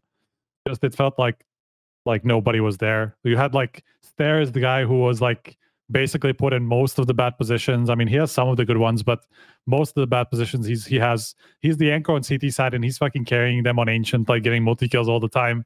Um, when like in positions where he's not supposed to. He was the only guy, and you could even say see it from I mean, I put it out on Twitter, and I think a lot of people agree that you know he was the one who did the losing interview, and I think like part of the reason why he probably said yes or he offered himself to do it if that's what happened i don't know exactly the story like why how it was decided who was going to do it but i think it is partly because there is the by far the least pressure on him because of first he played well i think everybody saw that i think he had nothing to be ashamed about in terms of his own performance and second he is the guy who's like ni- 19 and he's it's his i don't know how many mm, second major or something like that he's not expected to he's not on the same level as the other four guys, right? So the pressure isn't on him necessarily. It's all all the all all on the other four, especially because all the other four had some sort of power in this team. You know, those two stubby stubby whatever. I, you, I you'll never done it. you will never fucking be able to get rid of this. By the way, like that, that's that's the crazy part about it. But Stavn and jabbi just joined, obviously, you know, making a massive fucking statement from joining from heroic. Device and blameF were the were the power duo of the team, like dating back to when they first joined. You know, so like Staehr is the guy who has zero pressure on him, and so I understand why he um he even looked not that devastated after you know getting out uh, of the RMR, you know, and why he played well. I think that was like the most telling of everything. That Staehr was the one who did not look like he had the pressure on him, played well, and then did the losing interview as a champ. You know, like just did it well. Like it understand. Like I don't know, I don't get it. You know, well, what happened otherwise? But I think the that shows the most the part about the pressure playing the biggest factor in them being eliminated. Okay, Prof, are you buying this? Uh, You buying it? I don't know what what's being You sold. He, he was just waffling, but no, well, no, he wasn't, wa- he's, he wasn't he's, uh, waffling. He's but, saying like, I don't know. pressure. He's saying Yeah, pressure was the want the thing, and he was pressure. using the Staehr example of him being the one with the least amount of pressure and not being as fazed, playing well, doing interviews. So, are you are you buying the pressure argument? I mean, the pressure is definitely uh, aspect of it for sure, and it didn't help. Like they kind of got themselves put into pressure by, you know, playing some good teams, losing to them, getting into a situation where it's like do or die time, and then when it was, they they kind of sank. Right, they didn't really rise to the occasion. And it, it kind of comes down to Astralis being the same way and kind of scapegoating, putting these like fifth players into losing interviews for the last like three, 4 We're years. back on the interviews. and it's fucking crazy, but but because it shows it shows the team character though. Like it does. Like look at any other big team when they get eliminated, it's gonna be the Snappi, the karrigan, you know, the leader of the team that's gonna step up and say something, right? And how is this team through all of these iterations and different roster changes, like fucking pu- putting Lucky in losing interviews? Like, what the fuck does Lucky have to do with anything? He's just like a dude here, not even AWPing. Like, you bring in as an AWPer, he's rifling you, get destroyed in Copenhagen. Who's gonna do the interview? No, it's gonna it's gonna be Lucky. Like, for the bro doesn't even know anything about Counter Strike. He's just he's just there. He's just vibing. You know what the fuck? And it's kind of the same thing. Like someone needs to take responsibility in the server and out of the server, and no one is doing it. And they have like this coach that you talked about, which I, I didn't watch that much in Katowice. I didn't notice him. But now watching it, it just feels like, what is this guy doing here? It's just like this cute little kid. You want to just to touch his little cheeks and be like, but he's not a coach. Like he's not adding anything to this lineup. Where's the where's the backbone of fucking Astralis? It does not exist. It's disgusting, actually. It's actually disgusting to see that So, over and over again. okay, so what and I you're want to say just one one more thing. yeah, I could have I could give them a pass for so many times in these like last two three years. Always like, oh, Glaive is completely out of form. His calling is is bad. Like it was, it was definitely at some point. Zip was out of meta for sure. Zip Zip was completely like washed. Like ah, you can't provide. Like uh, the roles aren't really clashing. Well, the the roles are clashing, right? And then they come, they make these huge signings, which again don't solve the roles. They they again like just ignore it completely. But okay, it's your decision. You invested so much. You have fucking sick players. Where's the excuse now for like players underperforming and being like being wishy-washy? Like, how is this not like inspiring you to play better and give like 110%? Instead, like we're giving like 60% of every player except Staehr, who's like on drugs or something, like fucking He's not on drugs, by the way, out. Like he is he is doing amazing right? Like what where are these four players? They, they all sucked. They all sucked. jabbi sucked device sucked blameF sucked uh, especially and fucking who am i missing? Stavn did not exist at all. Like, you could say it too. So okay, so Prof, you're you're speaking to something a little bit more systemic, uh, as opposed to just the issues at the RMR, right? i mean there has to there has to be like the, the worst thing is there's only one there's one only one or two things tying this together. And one is like astralis as an org and even they they changed like half of the people behind the team and there's blameF there there's two only only two things All right, and we can make out of that what we want Let's let's dig deeper here then, shall we? Now let's turn to our resident professional Counter Strike player for this evening's episode. kyxsan when you look at Astralis' roster, does it look like it should work, or does it look like it's missing elements to be a cohesive top team? I mean, on paper, if you look at the players, it should work, but there is. I feel like they're missing something or someone that will kind of sacrifice for the team. Ah, okay. Now let's try a little game here, guys. Let me list a player. Let me list a team, and you tell me the player who sacrifices in this team. Here we go. Here's a nice little experiment that we're about to play. FaZe okay clan.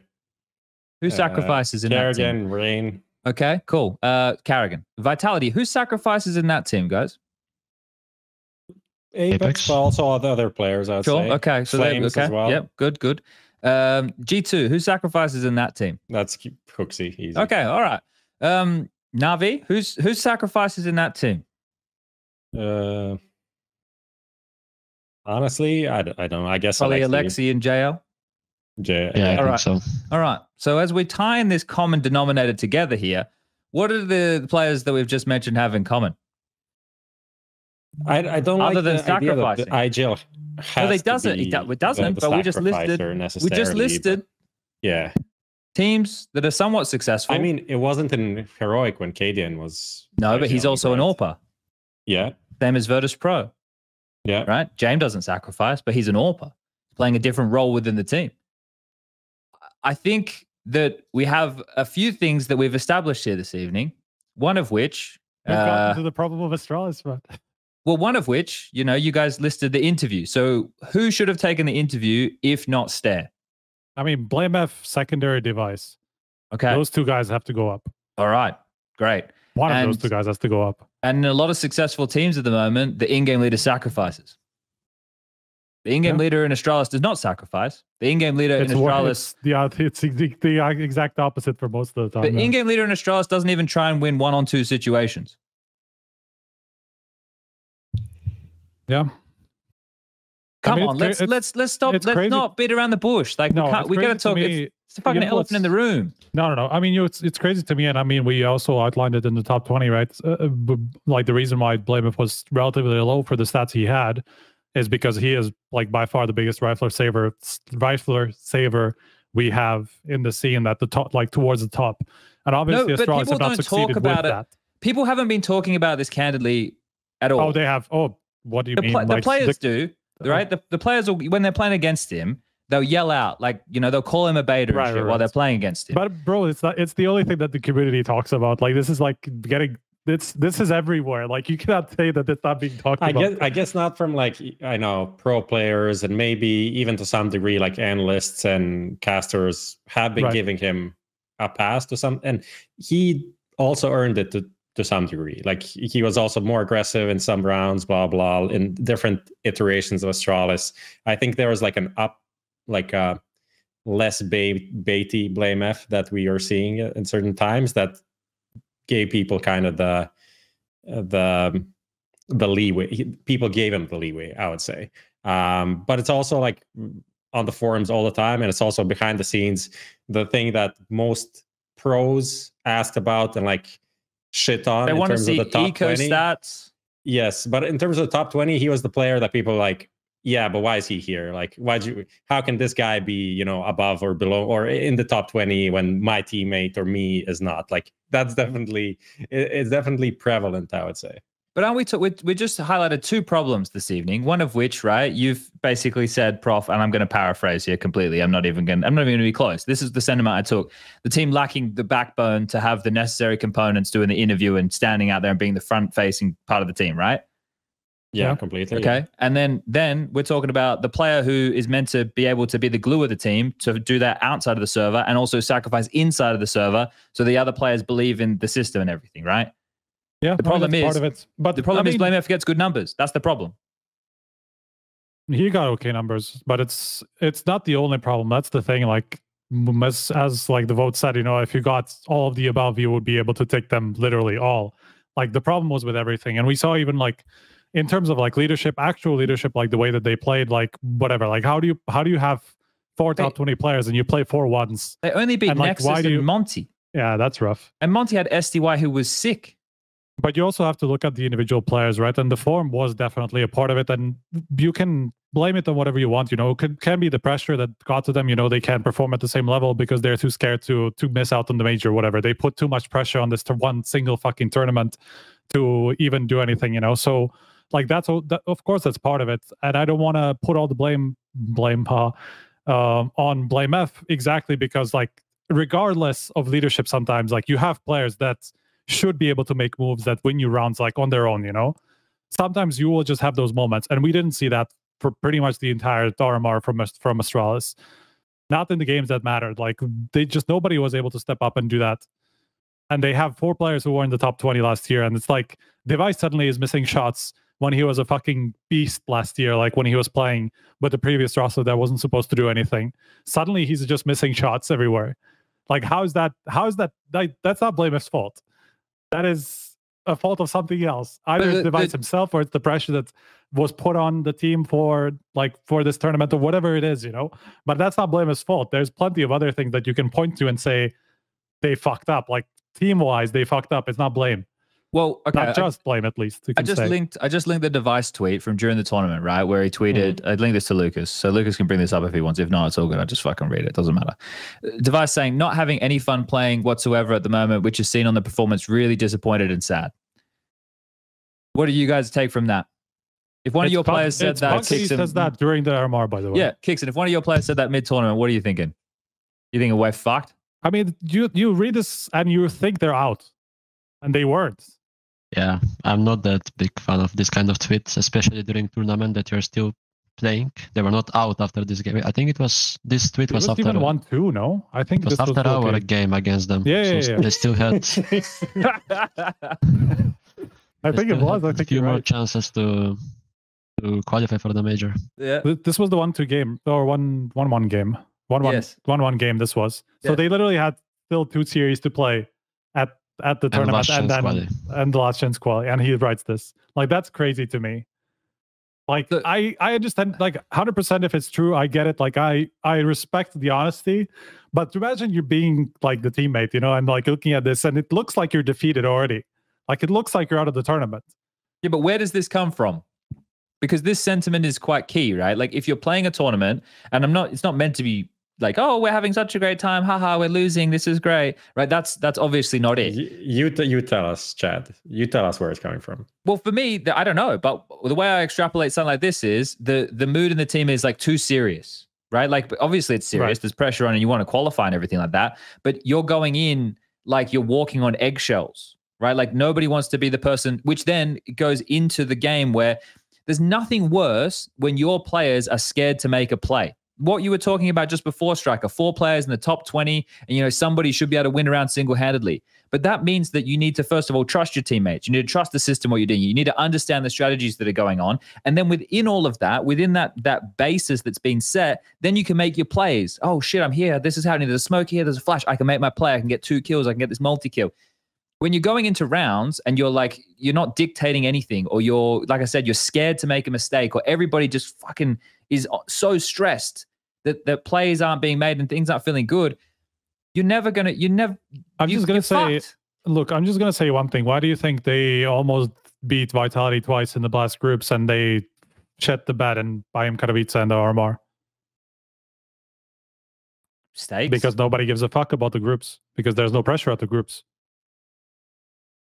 Everybody's like, whatever, we just take this as a as practice, and that's where Astralis actually looked good, and it looked like they didn't have the role problems that kind of everybody slightly expected with blameF and Stavn being a bit too similar of a player. You know, both of them being kind of on the Beatty side. Beatty side in the sense of like role, not like I'm not talking about like just saving all the time and stuff like that. You know, I'm just talking about him always like having somebody in front of them and being able to trade them and all that stuff. You know, and that's like Stavn and blameF, like both they're they they might as well be the same player on some some of the positions on T side, you know. Hmm. And at Blast Groups, it actually did not look like that was going to be the case. Like it looked like it worked from a role perspective. And suddenly they just go to Katowice, shit the bed, go to go, go to RMR, and just everything goes to shit. They don't look like top 20 players. Even they don't look like top 50 players. it was mid it was worse than that kyxsan how did we fix astralis tell us I'm not gonna say it. Why would I say it? true Like, that's that's true why would you help the enemy he's bang on he's bang on why would you help the enemy You All should, right. uh, maybe fair like enough. replace there uh, for. Um, I want to say conflict, but might not. Yeah, I don't know. Just say some the, the worst idea ever. What about this? What about this? Here's here's uh, here's a question for the room. Uh, what was worse, G two not qualifying for the major or uh, Astralis not qualifying for this major? It was Rio that uh, G two didn't make, right? I think it was worth G two not qualifying. because Really? Astra- Astralis is already on a streak of not qualifying. It's not- not I think that's a- fair. I think that that's big of a actually problem. true because G2 And- were actually like top five team at the time, top And three they or also have something. NiKo, who is better than anyone on on Astralis right now. Yeah. And m0NESY, right? I mean, they had NiKo and m0NESY, yeah. yeah, Okay. both better than anyone on Astralis right now. All right. Yeah. At And it's also time, like at the time that they were just a better team than Astralis is now. Astralis is still new. They fucked they fucked it in Katowice But where we still weren't sure how it's A gonna work. home major. Like look from the expectation side and like from like how bad it is for the team, I'm like I'm sure it's Astralis, man. All right. Like especially because it's the third in a row. Because like I was kind of doing the math and like just ballparking how much money they've lost. Just like from a business perspective, as an org, you know, how bad this is for the org. You know, who's had some like rumors flying around about them having like some financial problems. Obviously, you know, they found some money to buy fucking Stavn and jabbi for two million almost. Um, which by the way, you know, I heard that there was some uh, uh some clause about like them making the PGL major, you know, adding a little bit more to to Heroic's bank. Sorry, Heroic, you're not getting some money, I guess, from the from the transfer now. I Uh, think it was kind of live. I think it was part live of with fairly minis- I think it was minuscule though, I mean, like compared to the actual buyout, like it was somewhere in the area of like a hundred thousand or something. But anyway, like my point is, like this probably cost these three majors probably cost Astralis somewhere in the area of like three four million dollars, depending on how much like these next stickers make the make the teams. Like just from the last major alone, they lost like two million. You're thinking from- the org or the The org from plus sticker. I mean from stickers. Let's say let's say players have fifty percent. Let's say players have fifty percent of the team sticker, which is fairly fairly uh a common these days, like for it to be a 50-50 split for the team sticker. The bet the average that the teams got was like three and a half million from Paris alone. So let's say one point seventy five that the org lost from from Paris, and then Rio was a lot smaller. I, I don't know. It might have been like a million per team. That's another half a million that they lost. And now imagine like um the um, first what is it? CS2 Copenhagen major. first CS2 Yeah. major like goes even half of what Paris major does. That's another million gone. It's like four million across three majors that you just you don't have. You just lost. Like you, it doesn't it doesn't come. All right, all right. Hold on. I got an idea of how to get something out of kyxsan here to solve this situation. All right, Kicks, and I want you you're um you're you're working at Astralis right now, right? You're in you're in management and you go you go to Ants, you go Hello Natu, and Natu opens the door and he goes, What's up, Astralis? And uh you, you know, like, hey, um, you've got this Danish in-game leader. We used to have him once upon a time, but we would like to buy him off you. How much would you be willing to pay Natu to buy gla1ve? Can I tell you one secret? Yeah. He's never going back. But you're trying to buy him. How much would you offer? Don't worry about gla1ve's perspective. You're a Astralis right now. How much would you offer to buy gla1ve? I don't know. A million? Uh, he's worth a million. Maybe. I think so. And you Uh, know the funny part is like he went for free to ENCE because his salary was so high that like Astralis just wanted him wanted somebody else to pay his salary. That was uh, basically it. He didn't even they didn't Benz didn't even pay a pay a buyout for for gla1ve. Mm, yeah, yeah. Jesus, what a mess. Uh, I think just to just to finish the Astralis thing, you obviously played and beat Astralis uh, a few times now uh, recently. How how did these games feel to you? Like, what was the was the key to to beating Astralis, except having like super excited teammates? Uh, he's not gonna tell us that either, like is the, he? the last the last the last BO one was just nerds dominating everyone. No, the yeah, the but Mirage game. you were I think- also sharp on that game. Everyone was hitting bangers. yeah, I think we were just the better team individually, and also I don't know why this second time they like they wanted to play Mirage again. We beat them the first time on Mirage, and now the second time they they wanted to play it again. So we were like, it's fine, let's do it. But also, I think uh, we we know how to play under pressure much better than them, which That we much proved pretty and they proved. Yeah. yeah. So I think these two things were the most key. Like, Mirage is your map at the moment. You guys are like eight and one on it. Yeah. It's like the heroic map. It's like, well, I'm having a look. Yeah. It's Macedonian map. Yeah, okay. Macedonian home ground. It was always BLUEJAYS best map. We can check stats. oh shit! Okay, bringing a bit of the uh, Macedonian flavor to heroic. All right, all right. Let's uh, let's jump forward from our Astralis conversation because um, we could be here all night.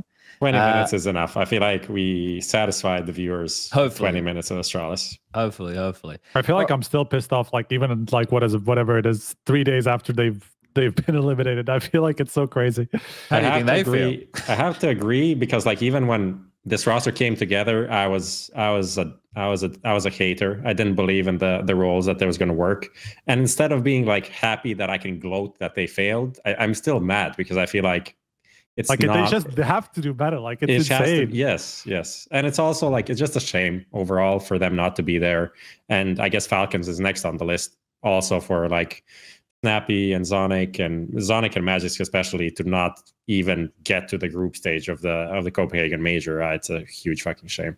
Do we start with Boros being replaced immediately, or do we do Oh. we start with like because man, after their performances, and then people were tweeting at me because I like I retweeted some question of like you know what are the chances that Boros is on the team after the major, and I retweeted like no chance or whatever. I think it was maybe after Katowice, and people were like he's the highest rated player, like he's got the best stats, his stats are fine.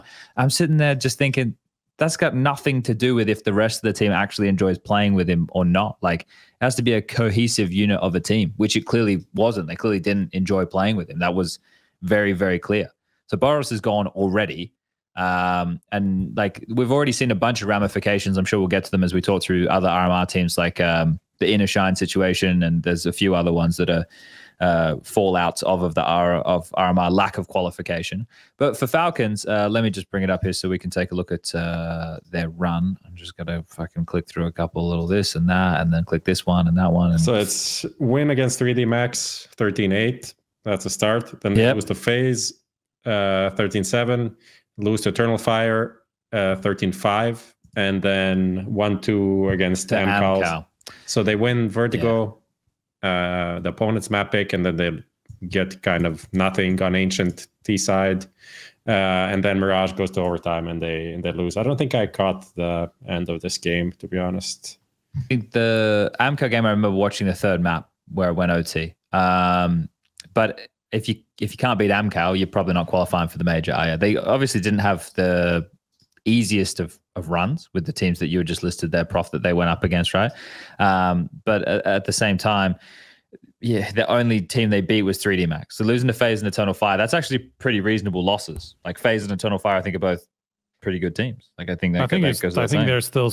I think I mean Eternal Fire. They're still favorites, right? Uh, I mean you can put it down to to um, to one map. You know, obviously, you know, sure, but it's not like that was a close game either. So that's also a bit of a problem. Like this was the easier of the two groups as well, wouldn't you say? yeah. Yeah, uh, like losing. I mean, there's just there's just no no excusing the the loss to AMKAL. Yeah. But they, they have the the Entropiq core, right? So Forester, Krad, and uh, NickelBack, and then yeah. yeah. Icy was um, I don't know if he's a revelation. People were talking about him as an AWPer, and then Travis was just fine. Um, but they, for they all had their moments. I mean, I, I kind of like the AMKAL team just because, like, yeah, I was also looking at Icy just because he was like the most, not the most hyped. He was kind of like a hipster pick, you know, for for fantasy. Like, you know, he was like a guy who you might throw a punt on if he's not like I don't know. He was kind of expensive for for being uh, a risk, you know. Uh, but I was like looking out for him just because I was curious. I didn't actually pick him for my fantasy. I wasn't biased in the end. Um, but he had some moments, but he just like you know classic kind of up and down, not not exactly a experienced guy, you know. So, uh, but I was impressed with him anyway. well, did Falcons have more or less time than your team kyxsan? What what what was their when did Falcons come together fully? Was it about the same Uh, time? I think it was around the same time. Do you reckon they were practicing on the 26th of December? I have no idea. I think Probably that, yeah. after they got the they got the core. Remember, like they had a bit more space because they didn't have to play the open calls. They got straight That's straight right. invites to Yeah. to the RMR. So I think they had more time than us, definitely. And I'm not sure. I think they were not at Blast as well. Uh, They no, were. they're a blast. Yeah, they bought a spot. They paid for. Oh, a they were. spot. Yeah, yeah, then yeah. it's my bet. But No, they had but- more time than us, definitely, because we had to play the open and the close quali. Yeah, yeah, I, do, I just feel like for them it's a different kettle of fish than than your team because there's so many rosters that have came come together over that period of time, right? So for your team, we as I was mentioning before, it felt like everybody on your team is hungry with something to prove, and obviously I think that's the case for the guys on Falcons in terms of wanting to prove something because a lot of them have just made a move to an organization that comes with um, a lot of negativity around it. But there's always the there was always this um, oh, I'll use elephant in the room again of, of the Boros situation. Like, how is he going to be? He's and they didn't even. The thing is, they don't really even. Well, they didn't use him in all the star player roles, which I, it just I don't know. It kind of made the complexion of the team seem a little bit off. I know. I, I wonder what happens now with. I know s1mple's only in there for the showdown. I don't even know. I don't expect that to be a long term thing. I, I don't even know what to make of this Falcon situation. It, it, I think it's a lot more expected for them not to make it than Astralis. I feel like Astralis should have made it. Falcons, I don't know, easier group. I don't know. What do you guys think? Do you think the Falcons should have made it? Start with kyxsan. kyxsan, do you think they should have made it? I think they should have made it because if you look at the players and uh, I think if you just look at the players, you expect these players to qualify. And I think, as you already mentioned, they were in kind of the easier group. I think it was expected for them to qualify. Okay. I think, uh, um, I don't know. I think maybe people got a little bit um, misled by the fact that they made it to the, the Katowice playoffs. To the Katowice playoffs because, like, remember how it started? Like, they almost got eliminated by Red Bulls. Like, they could have gone out last of yes. Katowice if they didn't get there. Boros basically, if they did, if he didn't like get them out of trouble against the against Rebels, you know, they would have just gone out in last place, and they ended up going to the to the playoffs, you know, to the semi even where they lost the spirit, right? So I think maybe people were a little bit misled by that and forgot the fact that they were shaky to start the tournament, you know, and so maybe the expectations were a little bit too high. But still, I mean, this is a team that obviously got a lot of money pumped into it uh, just for buying the ENCE not even buying the ENCE core because Snappi went for free, maden went for free. I think those two contracts were for nothing, but uh, uh, Magisk as well, I think. But SunPayus, I think, cost quite a bit of money. And then you have the whole Zonic, Lars Robel, who I'm sure were also very well compensated and all that stuff, you know. They mentioned so, the figureheads, right? So, yeah. I mean, I just mean, from like the expectation perspective, like I understand why people um, took it as a hard hard hit to Falcons, but I do think that it is early for them. Like it is, we all knew that this might not be the lineup that will make it through this major cycle, you know. So regardless of if they made it or not, there was a very good chance that they would just jump at the next opportunity to to buy somebody big because they weren't able to in this cycle, you know, because this was kind of like their plan B or even plan C, you know, in terms of some of the players that they got. So uh, I think I don't know. For me, I think I expected way more from Astralis, even if maybe it doesn't match the what they sh- what the teams showed, you know, in the past couple of months. Mm. Yeah, as in someone in chat said, the making the Kato playoffs was detrimental to them, and uh, that's actually kind of true because it took away practice time. Right? They had to stick around for longer. They had also the RMR A, so like in terms of practice time, it wasn't that much time um, for the team, and also realistically, the, the roles were also clashing a bit. And this kind of ties into the striker thing. This is kind of a makeshift roster. Like it wasn't compared to Astralis, who went out and just bought exactly who they wanted. Um, you knew the Falcons was like kind of scrapping for what they could get, and they managed to get this super late. We also know that they started practicing with like MHL and uh, yeah, Lonks, I think. Yeah. Yeah, yeah, right. So this was like kind of a put together what you can put together kind of a situation and uh, yeah we can also see that boros definitely did not live up to to the promise right of, of what he was supposed to do in terms of making like a lot of mistakes not really adapting to the level as quickly as the rest of the team wants him to essentially so mm. i think that's what gives us a lot more like leeway to this project versus versus uh, astralis that had an igl had an op has been like struggling for a while finding the pieces, and I went out bought what they wanted, bought what they wanted, and also had a lot more time because Stavi and Yab, um, Stavn and jabbi came in a bit before. Um, and they also missed three two majors already, and it's in Denmark. So the, the expectations and it was just a different situation, I think, for for Falcons. That being said, still a huge disappointment, and also if Astralis didn't crash out, uh, the Falcons' failure would be the biggest talking point sure. of the of the RMR. They just got overshadowed by by Astralis. Yeah, fair enough. Um, kyxsan, it, it, kind of it feels like to me after this major, there's going to be another big set of roster moves, right? Is that the the feeling from players? Like, do you have that general thought that maybe after this next roster there'll be another big shift of of, of players again?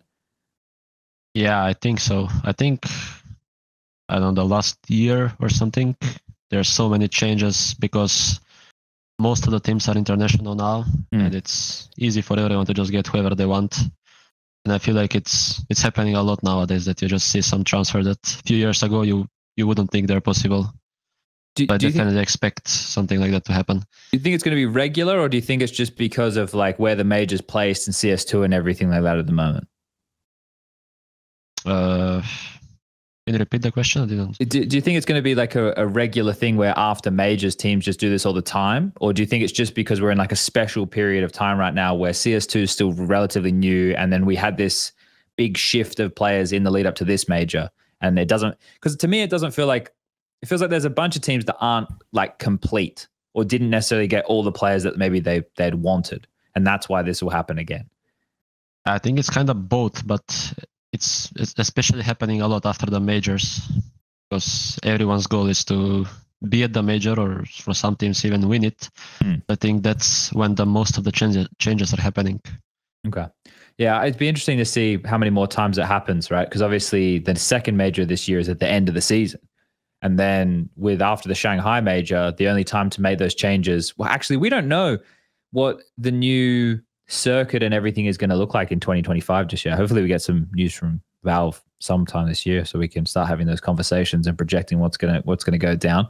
Um, all right, let's jump into talking a bit more about some of the teams who didn't quite make it. Uh, so Prof's put NIP, Monte, and Gamer Legion here together. Any any reason for that, Prof? Any reason you've linked those three names? Feel like uh, I guess Fnatic maybe to some degree could have also been in that category. I think it's like I think Monte and Gamer Legion are teams just like Apeks was that broke out last major, right? So Sure. would be I would the say breach, you kind of, didn't put them here. I didn't I didn't put them there. I didn't put them there. And do do you want to put them there? No, not I think it's But you put NIP that here, so they're they're in a different kind of category completely. Um, I think that both teams have had pretty good chances to to make it to the major and also kind of have had breakout performances.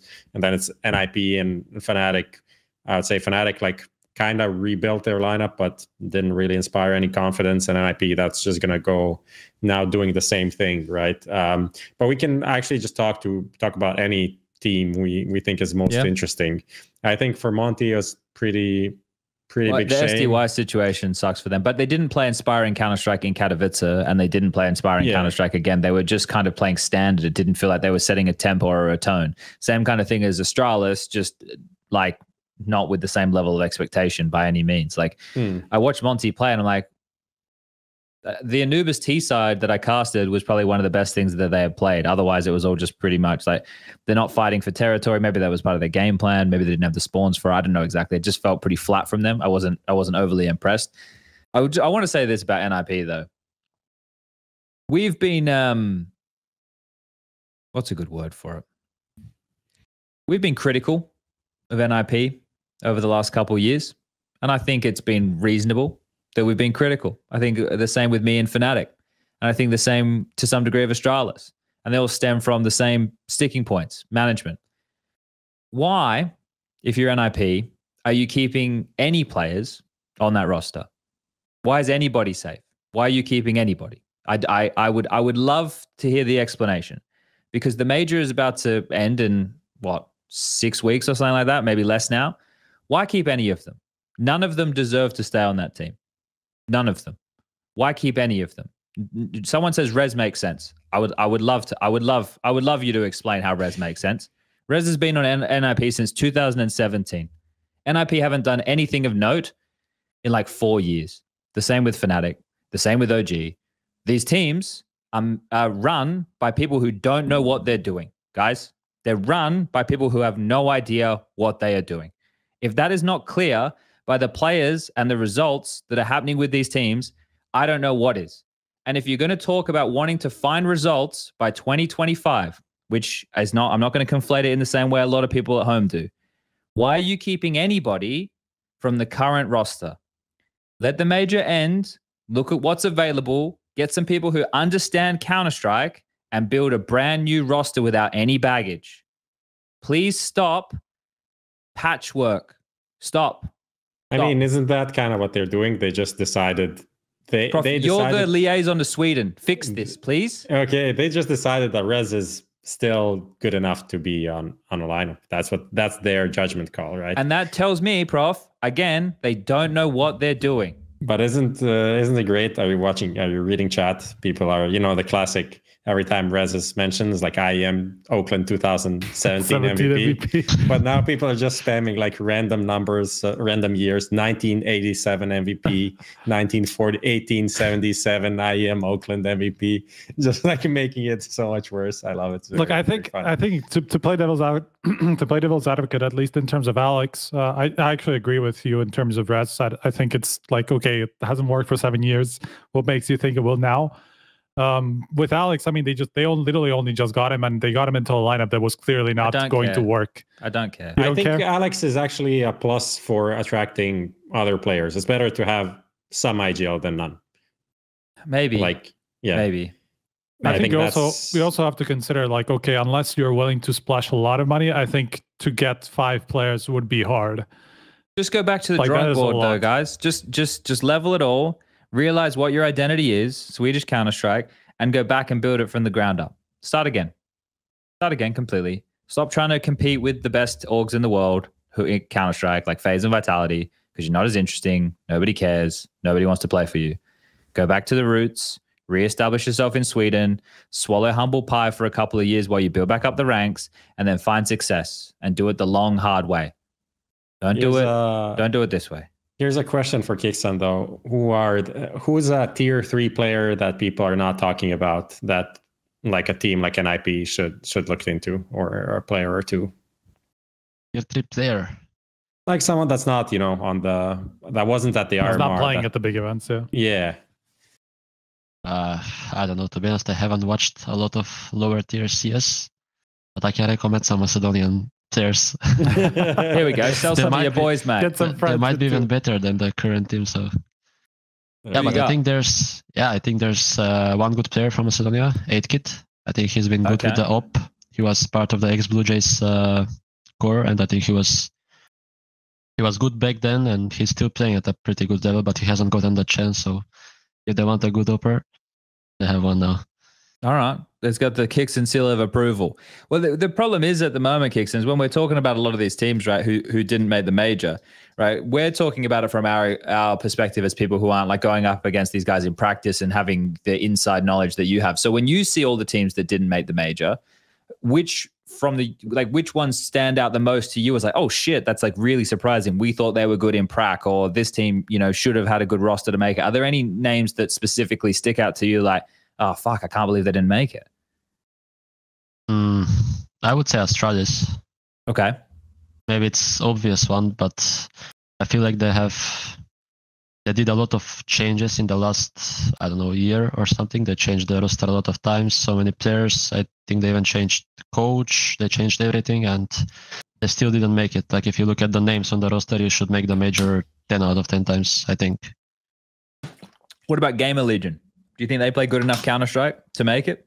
Or well, they obviously didn't, but were you surprising to not see them? Because one of the conversations that we have on this side of the fence is the structure and the way the team approaches the game is good, but they lack firepower.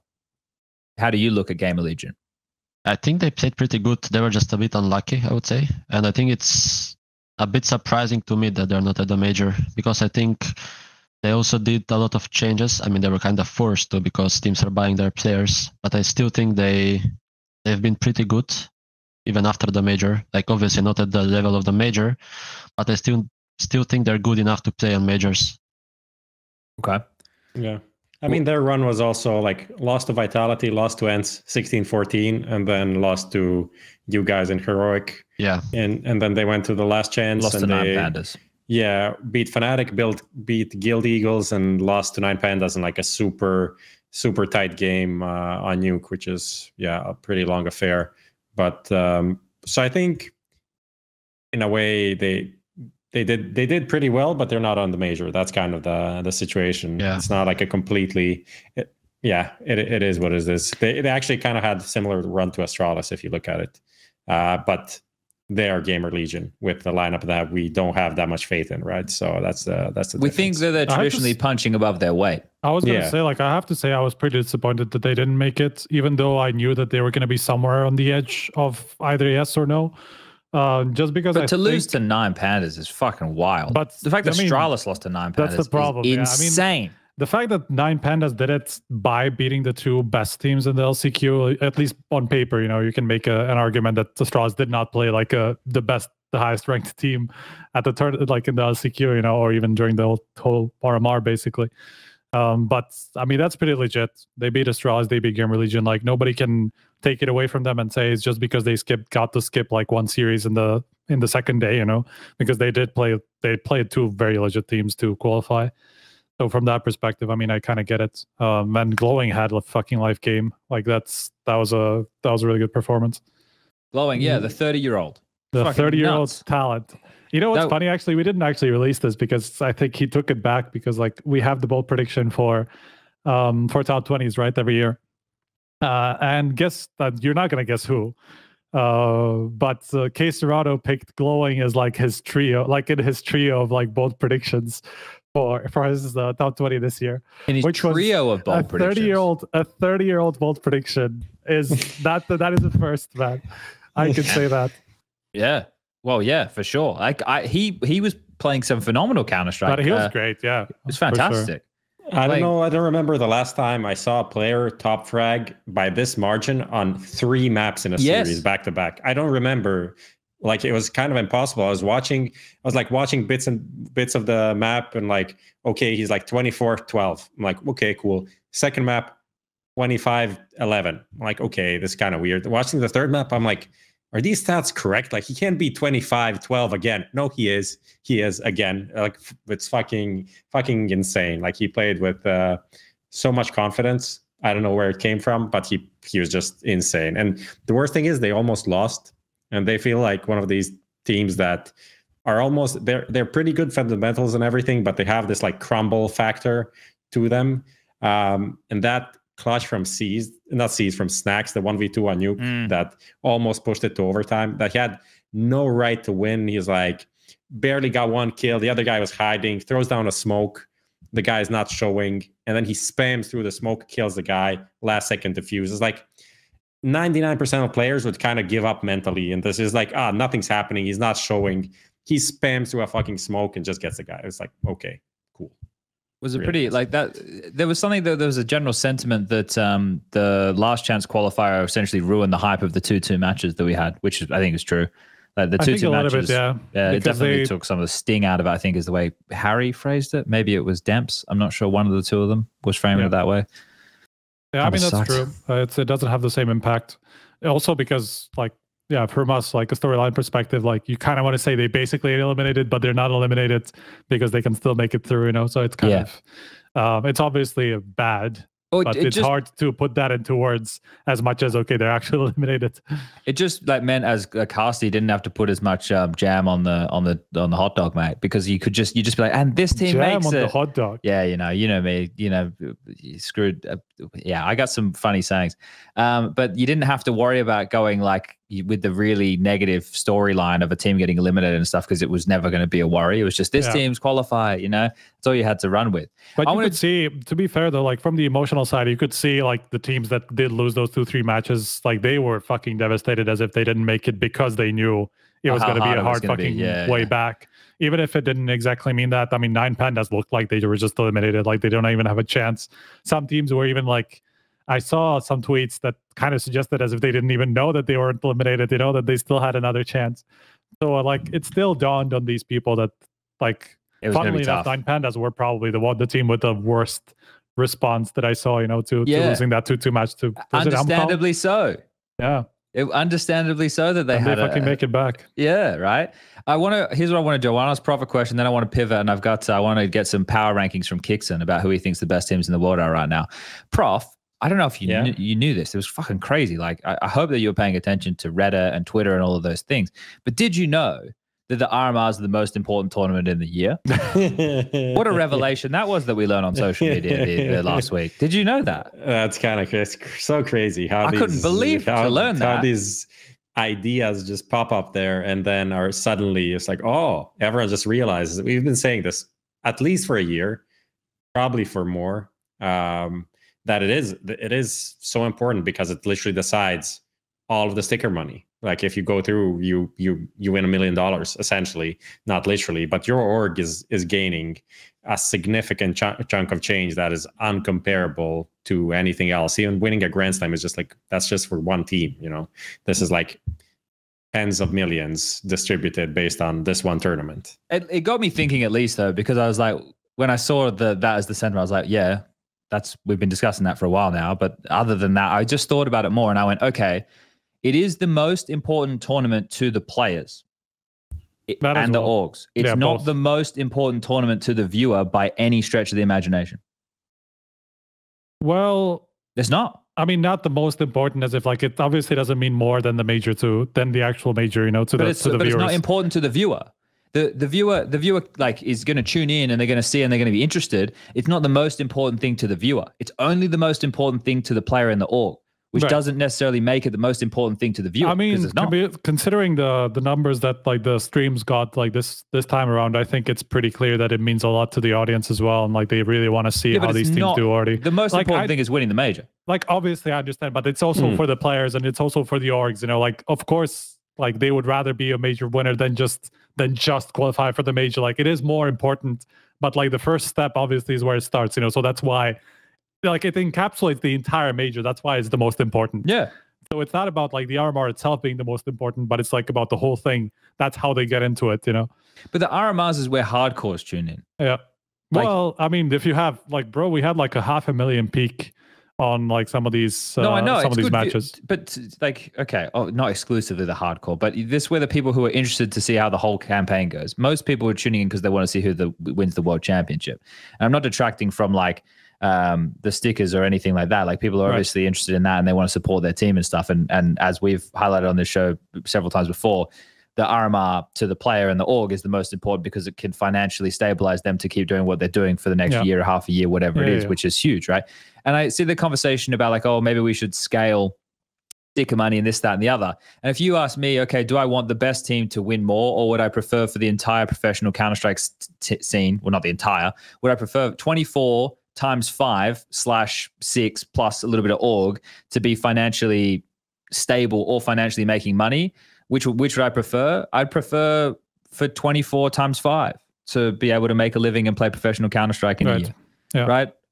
I was Do- thinking I was thinking about this actually as well because I had like this thought, you know, and it's like you're almost you almost have to catch your bullshit when you think about these things just because like obviously like the way you start thinking about this is like okay, we can't have the RMR be the most important thing. We have to have the major be the most most important thing.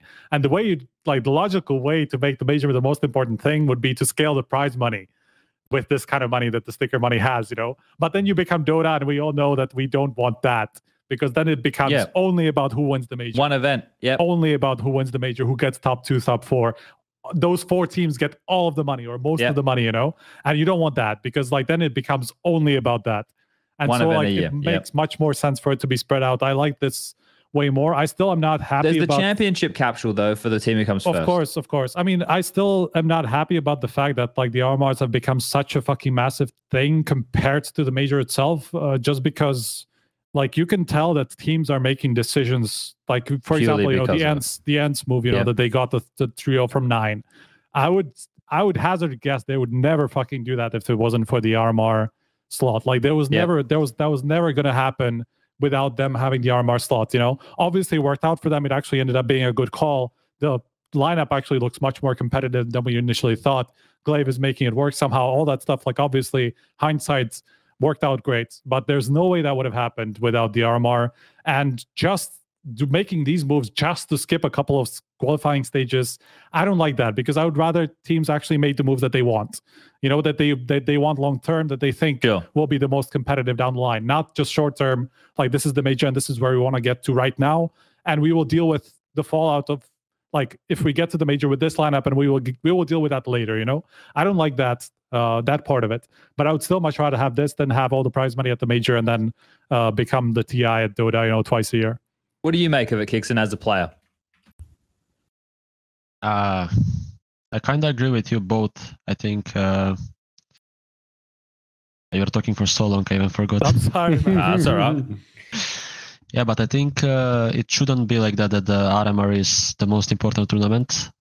But uh, I kind of understand what uh, Striker said when he said that it's just the beginning of the whole major cycle.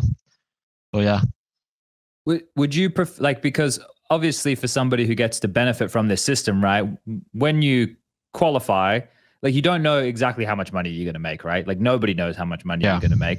The last one was a little bit of um, I don't even want to call it an outlier, but the last one has set this like expectation that might not even be obtainable again. We don't know. Valve left those stickers on sale for a very long time, um, which I'm sure you as a player were like, yeah, fuck yeah, Valve, keep those things on sale, man, keep it going.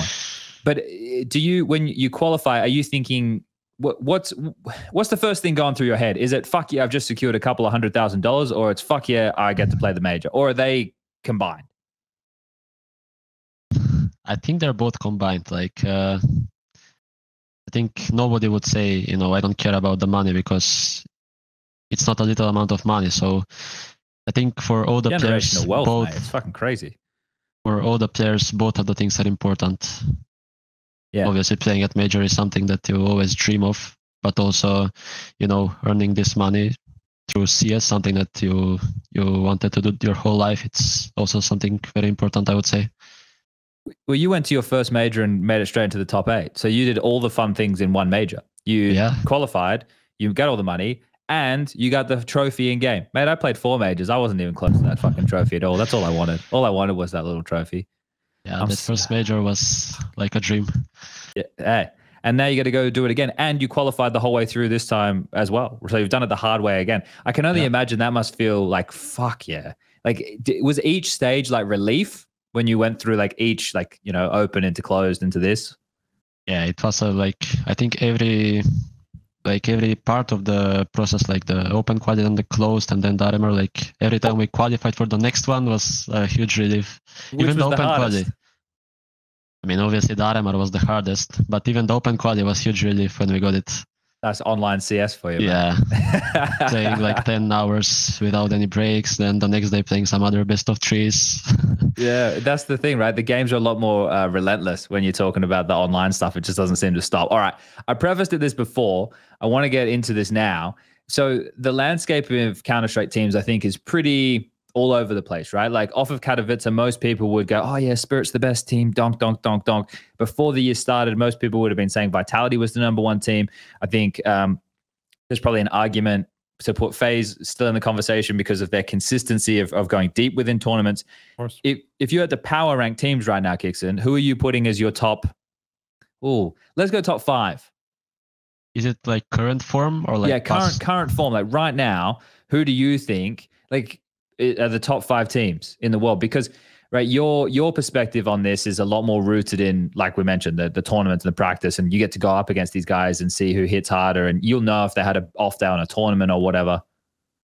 Yeah, I think right now I would definitely say that Spirit is top one. Okay. and not uh, it's not based only on uh, officials but also on tracks. Okay. They're playing some insane CS. Uh, second, second and third is between Vitality and FaZe, I would say. I'm not sure which one to put as second and which one as third, but I think they're pretty close right now. Okay. Fourth, uh, G2. Really? Okay. So you're still putting Okay. G2 up that high? Yeah. Okay. Yeah, I mean they did pretty good in. Uh, They go there, RMR. I mean, they beat you guys twice, right? Yeah. yeah, and also they did uh, 3-0 at RMR, so I think they've been pre- playing pretty good recently. Fifth, maybe MOUZ. Okay. All right. Interesting. I guess this is the thing. So what I when I look at Vitality at the moment and I watch them play, sometimes they look like they can have like really good. So certain maps they look very comprehensive and put together. On other maps, it doesn't look like everything tends to make sense. Like, do you, so I don't I don't know where I want to go with this question, but for you to still rank Vitality highly with the Counter Strike they've played to start this year, it's been I would say not the most convincing. So what is it that you you like about Vitality that makes them such a strong team? I think the fact that they've been they've been uh, let's say top three or something like that for a long time. So they've been around the top for a long time. I think that makes me put them like in top three at least. Because I agree that right now they don't look like the old Vitality, but I still think they have like know, they have top players who can win events at any time.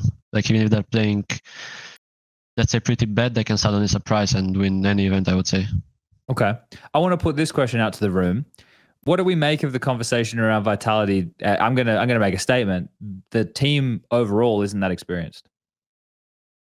You're saying Mm. Vitality as a team isn't that experienced? Overall, with all of its parts put together. I think that's uh that's a stretch. So flameZ and mezii, do you think they're hugely experienced individuals? I mean, it's not like mezii is inexperienced. You can't really say that. Uh, same thing. Like at But in this top point, Counter Strike, is mezii that experienced? Yeah, but like what team has like five apart from like FaZe has like five maybe now maybe G2 you could, no not even G2 because HooXi also doesn't have like that much experience m0NESY doesn't have like mega levels of experience or whatever um like it's basically like FaZe, the only team you can make and make a case for having shitloads of experience Okay. All right. so it's like Vitality is definitely like among the more experienced ones if you look at the top scene at the moment. Like you look at okay, Spirit not even close, MOUZ not even close. G2 would say less, maybe or in the similar level. Um, you think G2 not would have even- less? No, no, no. Navi's the G2 probably similar similar level if you compare like whole the whole team together, probably a bit more. Uh, Navi not even close. VP not even close. Falcons. G2 would have heaps more, bro. It's not even close. Well, I mean, G two's not even close in the conversation. flameZ, flameZ and mezii, what what have they played in? What No, is yeah, it? both Mon- of- m0NESY played in? What is Nexa played in? Mon- Nexa's m0NESY's around for played in two Ka- uh, two Katowice Grand Finals and he's won a Cologne. I mean, Yeah, if you I look mean, at like very deep, Spinx won, like, I don't know what Yeah, I mean didn't by say Spinx, flameZ and mezii. It depends on what you're talking about. I mean, flameZ's also now played in like four, five finals or something. Like it's not like he's inexperienced. He doesn't know what this like, what this is like. You know, so all like all. But anyway, my point was like, if you look at the top ten teams, you'll find like two teams that are more experienced than them. You know, Yeah, I just don't know. I just look at the team and I'm really shaky on it. Like I look at the roles when they're playing some maps and I'm not sold. And then I look at like who's going to make plays to bail them out. flameZ feels neutered. I think mezii's still stuck in like fucking in-game leader brain and playing anchor positions where he's not being selfish enough. And then like unless ZywOo's killing everybody, I'm like, what what's going on? I, I don't know. Yeah, I I, think feel Spinx like has the space. he might have the space. I don't know if he's he's got the aggression. Used to be there. I don't know, man. I don't. I'm not for whatever reason. I'm really just like I've. I'm not. I didn't like watching Vitality play. It's kind of. It's just average to me. I mean, I guess you have to be talking about the Cloud Nine, Cloud Nine series, or are you talking about Katowice as well? just just this year in general, Okay. it's been pretty average. fair enough. But I don't know. I I like. I don't. It's not that I'm not saying they're a top team right now. It's just that just Counter Strike feels. We've had this discussion when I was doing uh, when, when you and I were in Katowice striker. Yeah. It just feels weak. Like it feels. This just feels like things are missing. Like teams are teams are missing. missing like smokes. Yeah, that in too. There's a lot of smokes missing. That's think- that's one thing for sure. I think you just have to t- have to take that with uh, still people coming up coming to grips with CS2 and figuring out what's the what's the meta of the game because and even like the game changing like pretty much on a monthly basis still with updates and all that stuff like I don't think you can make a case that anybody can be consistent at the moment like 100% just because of of uh, not everybody knows what's to uh, what's to be the best play um in any situation you know so I think it's still going to develop over like the next year or so before people figure out CS2 and what it's about and how much the they can exploit um, the new mechanics. Do you think that's true, kyxsan? Do you think they're still working out, like you as a player and team are still working out the best way to play CS2 at the moment? Is it still not completely ironed out? Do you think people are still discovering the best way to use like the smoke clearing and, and all these new features, like no skyboxes with you two? Or how do you feel about the game at the moment? Because that's another big question. Yeah, I think every team is kind of improving day by day. Like every day you see something new, like new smoke or some new trick that you've never seen before. So I think it's it's definitely definitely changed a lot since uh, the release. But I think it, it can still go like much more deeper with all of these uh, tricks and the way people are playing the game. So is is that because the thing is the way that I was kind of framing this conversation a while ago was when CS:GO first came out. I reckon the first three to four years, uh, essentially until Astralis came in and showed everybody how to use utility properly. Right, every key piece of utility had a purpose, and then from that point on, the game's kind of been on steroids of everybody fine tuning all of those little details. And then Valve made it so you could drop the nades, which took it to an even next level. Right now with with CS2 being out, it felt like everybody kind of forgot that in the beginning. If you go back and you look at the type of CS2 that was being playing in, Sydney, right? P- people were just doing a lot more. Like people were throwing you to it. Don't get me wrong, people were running at each other a lot more. Right? It's a lot more aggressive, fast-paced CS. And now it kind of feels like we're getting into a period where everybody's gone, okay, well, hold up, we can still play this game in a similar way. We just have to work out what works best. But do you think anybody's figured out how to approach CS2 the, the best yet? Is there any teams you look at and go, oh fuck, they've got the best idea on this in the meta right now, or you think that's still up in the air? I think it's still up in there. I think most of the team teams are still trying to figure out how to play the game in the best possible way. And I think, as already said, the game is changing a lot. Like this update that was a few weeks ago with the swinging thing, Mhm. I think that's changed a lot. It has, like So- noticeably, you feel it. Yeah, I think it there is a huge difference, I would say, and also the the way the game works. Like for me, after that update, the game is so much smoother. For example, Okay. So for me, it, it changed a lot. So it's hard to say right now that I think most of the teams are, are still trying to figure out how to play the game.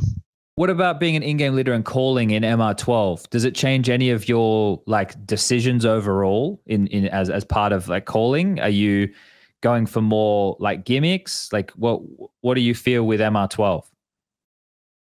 Uh, I don't think it changes my way of coding that much, but uh, I can say that I'm not a big fan of having MR12 in best of ones. Okay.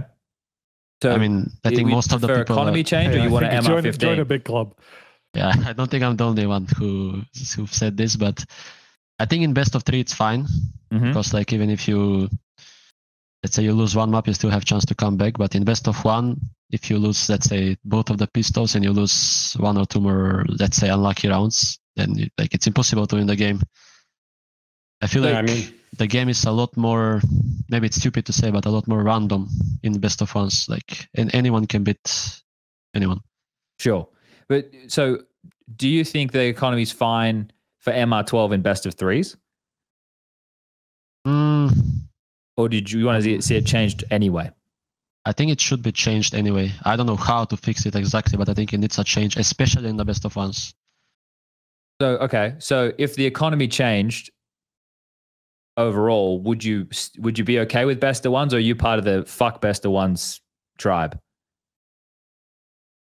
that's a good question i think still it's going to be pr- pretty rough to play best of ones on mr12 i think the best possible solution would be for example if we can have best of ones in mr15 and then if it's if it's best of three it's going to be mr12 but that's like impossible in my eyes i don't know how it's hard to do i think I mean, If it is, the economy- it is if easy, the- but it's possible. But If the economy doesn't change, right? Like if the economy didn't change and you did best of one as MR15 and best of three as MR12, I'm curious as that if that would even be a consideration. But then for Valve, I mean, any TO could do that if they wanted. If they really wanted Yeah. to, any TO could do it because it's like it's literally one setting in the game that you just change and that's Yeah. it. Like that's how the game works. You know, but they won't do it because we know that everybody wants to toe the party line with what Valve do for the Yeah, majors, I mean, right? So then again, like Valve are okay with people experimenting and stuff like that. Like I don't see why nobody wants to.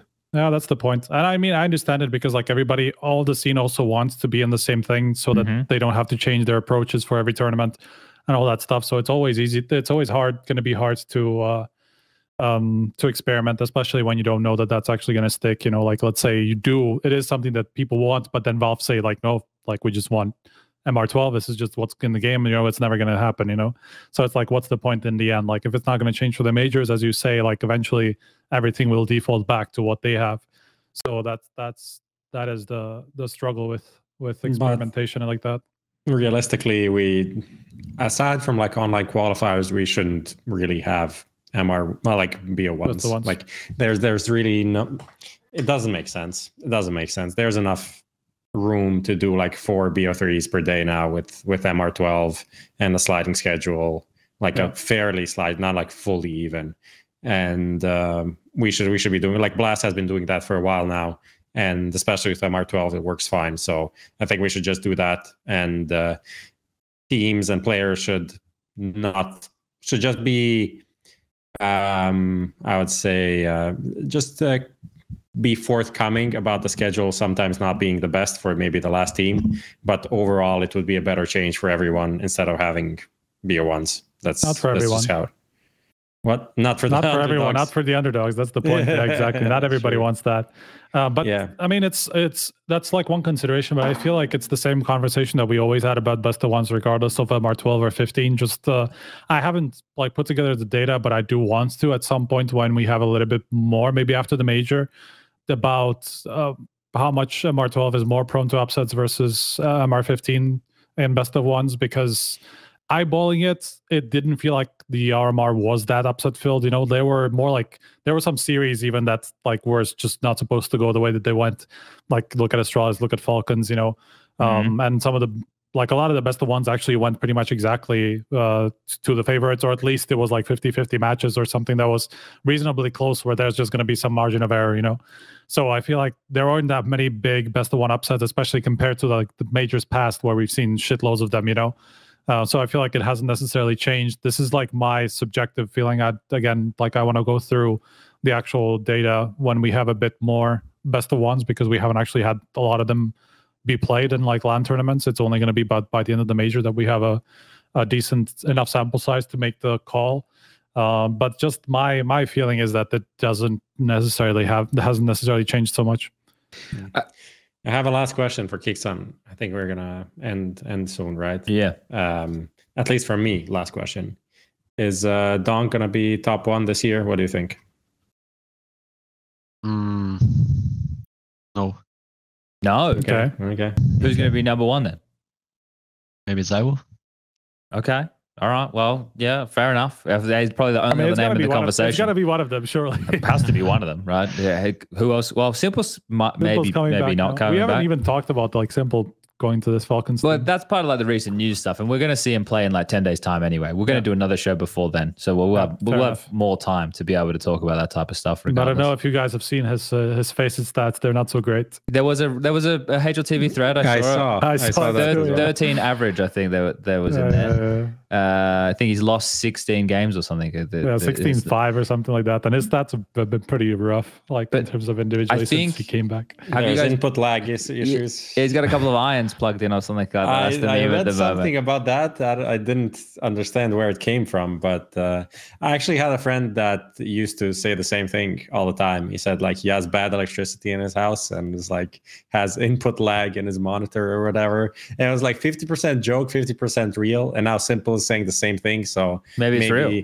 maybe it was real all, all along, right? That's the only thing that stopped him from going pro, I'm pretty sure.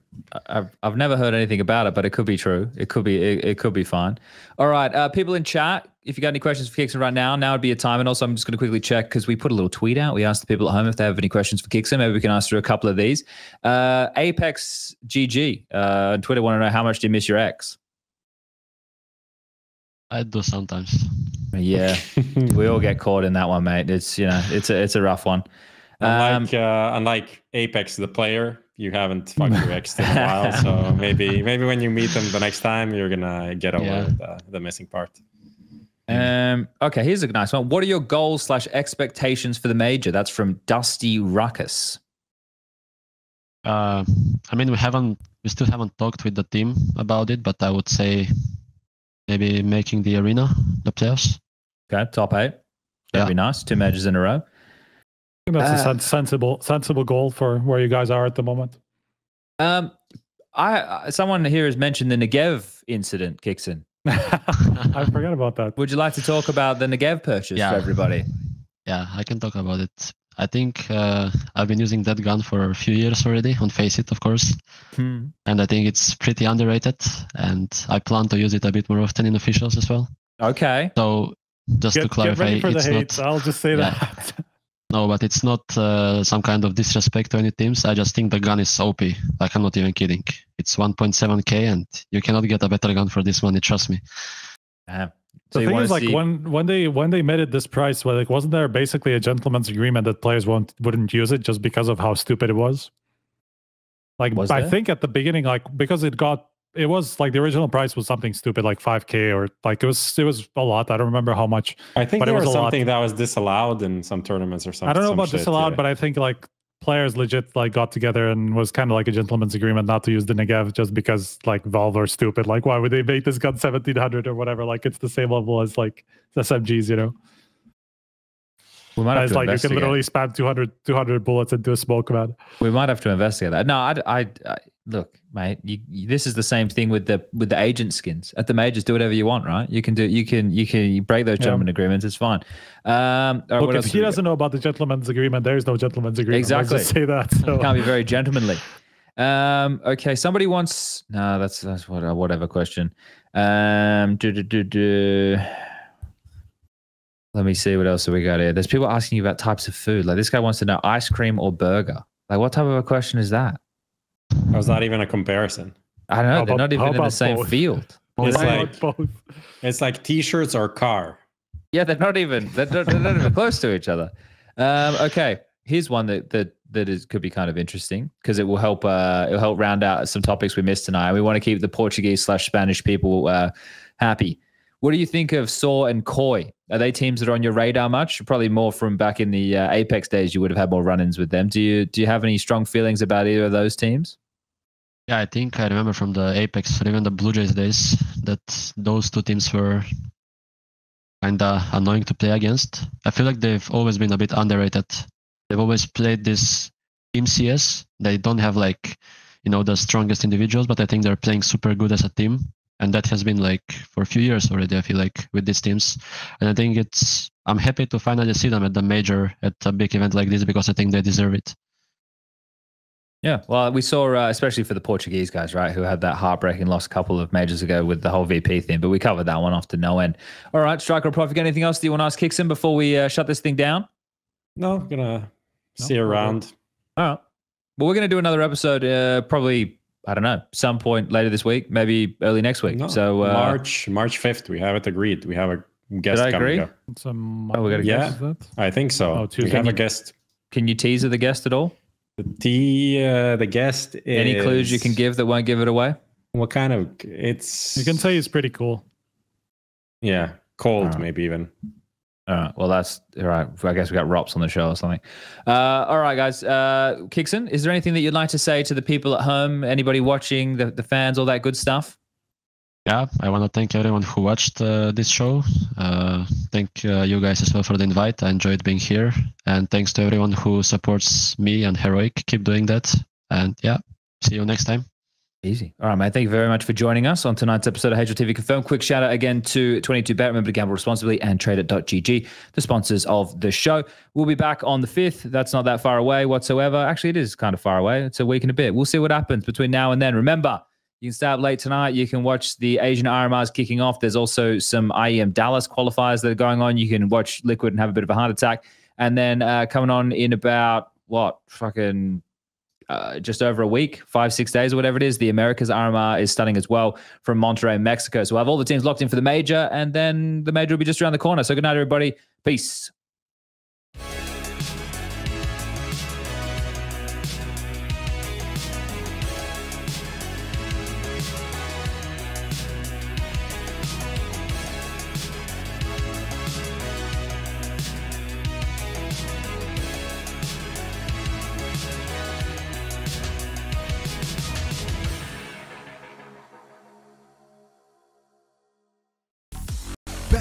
Best esports odds.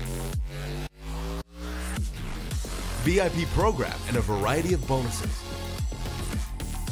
Fast and easy withdrawals.